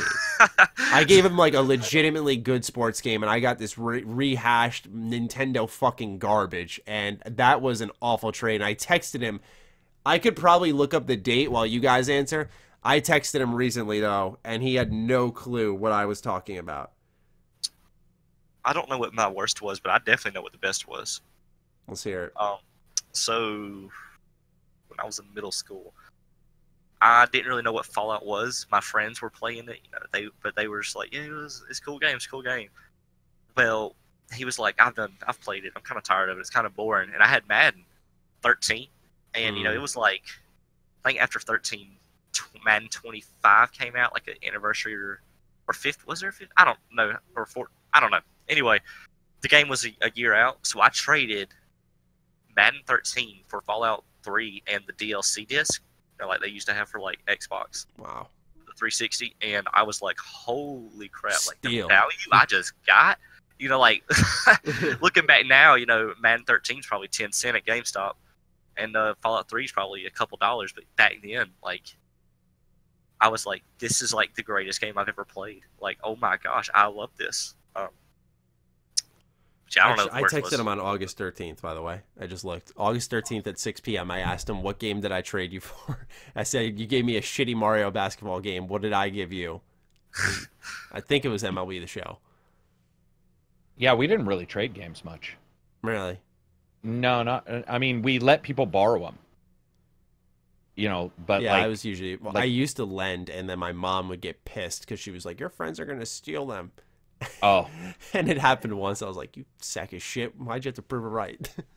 yeah. Uh, overall, we didn't. I mean, most of the time, you know, it was it was more along the lines of, you know, do you want to try this this weekend, kind of thing, Mhm. and then we also didn't have a huge number of uh, people who had the same systems as I did because I had a Sega Genesis, and at that time it was like Nintendo versus Genesis. Mhm. So a lot of us had differing systems, and then I had a Saturn. They had PS ones, so it it was more just we didn't always have over. Yeah, so we would trade systems sometimes. They would come over and they'd grab the Saturn, and I would grab the PS2 or PS1, but you know, not really games. I remember I've gotten good deals on games uh, from friends. Like I remember uh, I was sitting there during science class and this kid Kenny was just like, "Yeah, I'm quitting Xbox in 8th grade." I'm like, "Yeah, okay, dumbass. Let's let's see what you're getting rid of then." Uh, and he was just like, "I'll give you Skate 2 and Quake on the consoles for $7." And I was like and at the time like Skate 2 was just brand new. I was like, okay. So I took that off his hands immediately. Um, Seven dollars. yeah, seven dollars. I don't know why. That might said that that number just Yeah. stuck out Yeah, more than the trade I, I remember bringing in seven dollars. He was like, okay, perfect. So he needed seven dollars for something. Um, you know, but I did him a solid, a very stupid solid too. I I could kick myself the moment I handed him the bag of Yu-Gi-Oh cards that I used to own, because he was like, he picked it back up, and I had I had the most fresh fucking collection of Yu-Gi-Oh cards that nowadays would be worth. I probably handed him that day thousands of dollars. Ouch. I probably handed him that day. I so I'm the real loser, but holy shit, bro. I handed Yes, him like. Buster Blade, the the Magnet Warriors, Exodia. Holy shit, man. Just countless amazing cards. Maybe they're not as valuable nowadays, but I don't know. I got I got the Yu-Gi-Oh game that came out on console uh, on Switch rather um, the other day, and it came with some Yu-Gi-Oh cards. So I went to my local card shop and I traded them in because I'm like, I don't play Yu-Gi-Oh, so I'm not going to need these. And I got thirty dollars trading credit for like three cards. So Yu-Gi-Oh, Yu-Gi-Oh is notoriously, uh, along with Pokemon, really expensive. Uh, Oh, the gotcha. physical card game. So I imagine that those cards just held some type of value. Uh, holy sm- smokes, man! My other good deal was I, I when I first played Fallout Four or Fallout Three rather. Um, I paid twenty dollars for it. So, not too bad. Um, Yeah, I don't. I, I, That's the I only good just, deals I've got. I haven't. Yeah, I just don't even. I don't even remember a single deal I've even done really. Mm-hmm. GameStop we- screwed me over a million times, but you know, Well, I, yeah. am the man who screwed over GameStop. I take pride in that.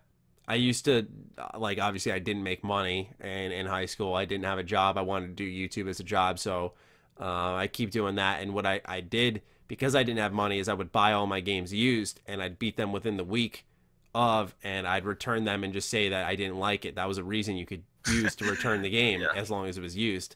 And I just kept recycling games at GameStop. So. GameStop. Oh, and that was what I think GameStop has decent trade offers now. Like I could trade in arms. I was just looking the other day, which is that like Switch fighter where you use like the motion controls and punch at your screen. And you can get like thirty four dollars for that or something like ridiculous. Um, but Nintendo games have a, a higher trade in value for some reason, but still, um, yeah, like I, I I take pride in the fact that like I I beat GameStop. That's what I say. I GameStop always did bad prices though. Yeah. I mean, for They the longest period of time. How they Let's screw you over? I'd go in there with. Ten, I remember uh, to get to get Halo Combat Evolved Anniversary Edition, the uh, the remaster, I traded in like all but like two of my games, and I had like when I was a kid, like I had like stacks of games. Like it was like wild. I walked in there and I got eighty dollars worth of credit, and the game was like twenty uh sixty dollars. hmm So then I had twenty dollars left, and I was like, dang man. I mean, it was a great game, uh, and I wouldn't. Yeah, but you felt like you traded a part of your soul when you. Oh yeah, like I remember for some reason I remember Shrek Three the game. I don't know why, but I loved that game. Like I kept playing that over and I over like again. Shrek two. I don't remember three. Um, I would kept I kept playing that game, and I, s- I gave it to him for like fifty cent. Like Uh, yeah. it was wild. It- Yeah, oh, at that man. point you're just clearing out. They're they're doing you a fa- They're doing you the favor, clearing out shelf space. Yeah, I feel like Yeah. if I went up there with now with Shrek Three, they'd be like, uh, "You're gonna have to give us the game, your shirt, and 20 Mm-hmm. bucks, and we'll think about putting it on the shelf." You're not all. wrong though, man. They're, they're, some of their prices for trading are so bad. Um, yeah, I was looking at what was I? Because I was looking up trade prices because I had this rack to the left of my TV and it's full. So sometimes I do have to go up to GameStop and just cycle out games I have. I try to make sure I, I, I will never trade in my Vita games and I'll never trade in my Switch games. Um, but I was like checking the prices of them anyway. Um, but sometimes I have to cycle them out, and I'm trying to think of one I saw that like recently came out within the last couple of months, and it's already eleven dollars trade in. I'm like, what? Um, I yeah. remember going in and they would offer I, back in the day they would offer like 49 cents for a Yeah, game. yeah, no, And- because I oh my god, that reminds me. And me. you'd see it for 29 on the shelf or whatever and I think that's why I never used them cuz Mhm. there we had local places too that would trade in and they always offered better deals. Yeah, So I'd just be like, "Fuck you! I'm going to like." Even our blockbuster would buy games, and if they verified Really? it work, yeah. If, if if they didn't have the game, which you know they they had a lot, but they didn't have them all, they would take the game, they'd verify it work, and then if it did, they could they would buy the game from, and they gave you much better prices, uh, than GameSpot or GameStop did. Interesting. Yeah, man. I, I remember when I went to get my 360, I came like I remember even the employees had like a look of shock. Like I came in with like a box of games, like a ton like my old Xbox, my old PS2 just to upgrade to the 360 and I still had to like take a hundred dollars out of pocket at the time to pay for it. Like, and I traded away so many games. They're like, all right, uh, Final Fantasy, six dollars. I'm like, fuck, this is a three hundred and twenty dollar system. I'm like, this is not gonna be good. yeah, man, they they got me good, but I got them back in high school. I take pride in that. Um, but that'll be our, our final patron question. We don't have anything else. Cameron, we we appreciate you joining the show. We hope you had a good time. I hope it's as good being a part of it as it is listening. It is. It was awesome. Good. Yeah, and thank really or um, enjoy your time as uh, in the military. Oh, I it appreciate sounded like. Are you uh, are you going in soon or? Uh, in January, I leave uh, for basic training. I'm joining the reserves. Gotcha. Yeah, so I'll leave in January. January 6th, I'll leave, and when everything's said and done, I'll actually be back at home living my regular life, just going on weekends Yeah, right. around this time next year. Maybe July, actually, but around this time. Nice, nice. It's kind of interesting. We've had uh, just last week. Boss said he was doing Air Force. Yeah, yeah. There's been a lot of people uh, going in. Yeah. Is this a recent uh, idea? Uh, I've always wanted to serve. Always, it's always been a passion. I love the country, um, Cool. but also, I didn't want to stray away from the life that I have right now and fully commit to it. Right. So it's always been in the back of my head, and uh, you, you know how recruiters are. They always want, you know, they never take no. That's always why. It's like, well, yeah. so it took a while to actually get into it. Uh, to after I graduated, probably a couple months, a couple months Mhm. after, and I was like, you know what? Because I kept telling them, I was like, I'm gonna think about it, and then I'm gonna come in. I came in one day, and they're like, dude, we didn't think you'd come back. So uh, it was always something I wanted to do. Uh, finally getting around to doing it. I also have a uh, a girlfriend going to college, a very serious girlfriend. So I didn't want to, you know, get shipped to California while she's here for four years 'cause she just started. So Right, right. Totally Um, understandable. it worked out best for me, and uh, I still get to serve at the same time. So it's it's it's going to be an interesting journey. Um, I'm excited, nervous as hell, but still excited. Yeah, well, best of luck to you, man. And we, we Yeah, for I sure. don't know sometimes if the right thing to say, like we appreciate it, like we we thank you for serving. I, I'm being genuine when I say that. Like I, I've always wondered, is is there a right terminology to approach that? Because some people have passion for it, some people want to, some people feel they have to. Um, in your case, I, I would say thank you. I think. Uh, yeah, I appreciate I appreciate it. Um, Yeah. Certainly more Yeah. courage than I, and I appreciate that. well, I appreciate it. It was it's awesome. It's awesome coming from y'all. Oh, it's our pleasure, man. We're, we're happy to have you on, and uh, we'd love to have you back at some point, maybe like a little bit after your basic training, or if you have like a weekend where you come Oh my home god, something. yeah, to hear the basic training yeah, or Oh, hear stories. some yeah, stories. Yeah, that would be awesome. Get you in here. That'd be awesome. Yeah, for sure. That'd be very cool. Yeah. 2020 people, it's it's going on. All right. Yeah, man. I mean, look, you're you see how easy I am to get into contact with. So Yeah. all you got to do is pop me a message, and so long as I get the email notification, I will be right on you like flies on shit. So I got you covered, man. Uh, I really really appreciate it. Yeah, no, we appreciate you, man. So thank you so much for coming on. Uh, ladies and gentlemen, this has been episode 218 of the Ham Radio podcast, and we will catch you guys next week. Peace Peace out. out.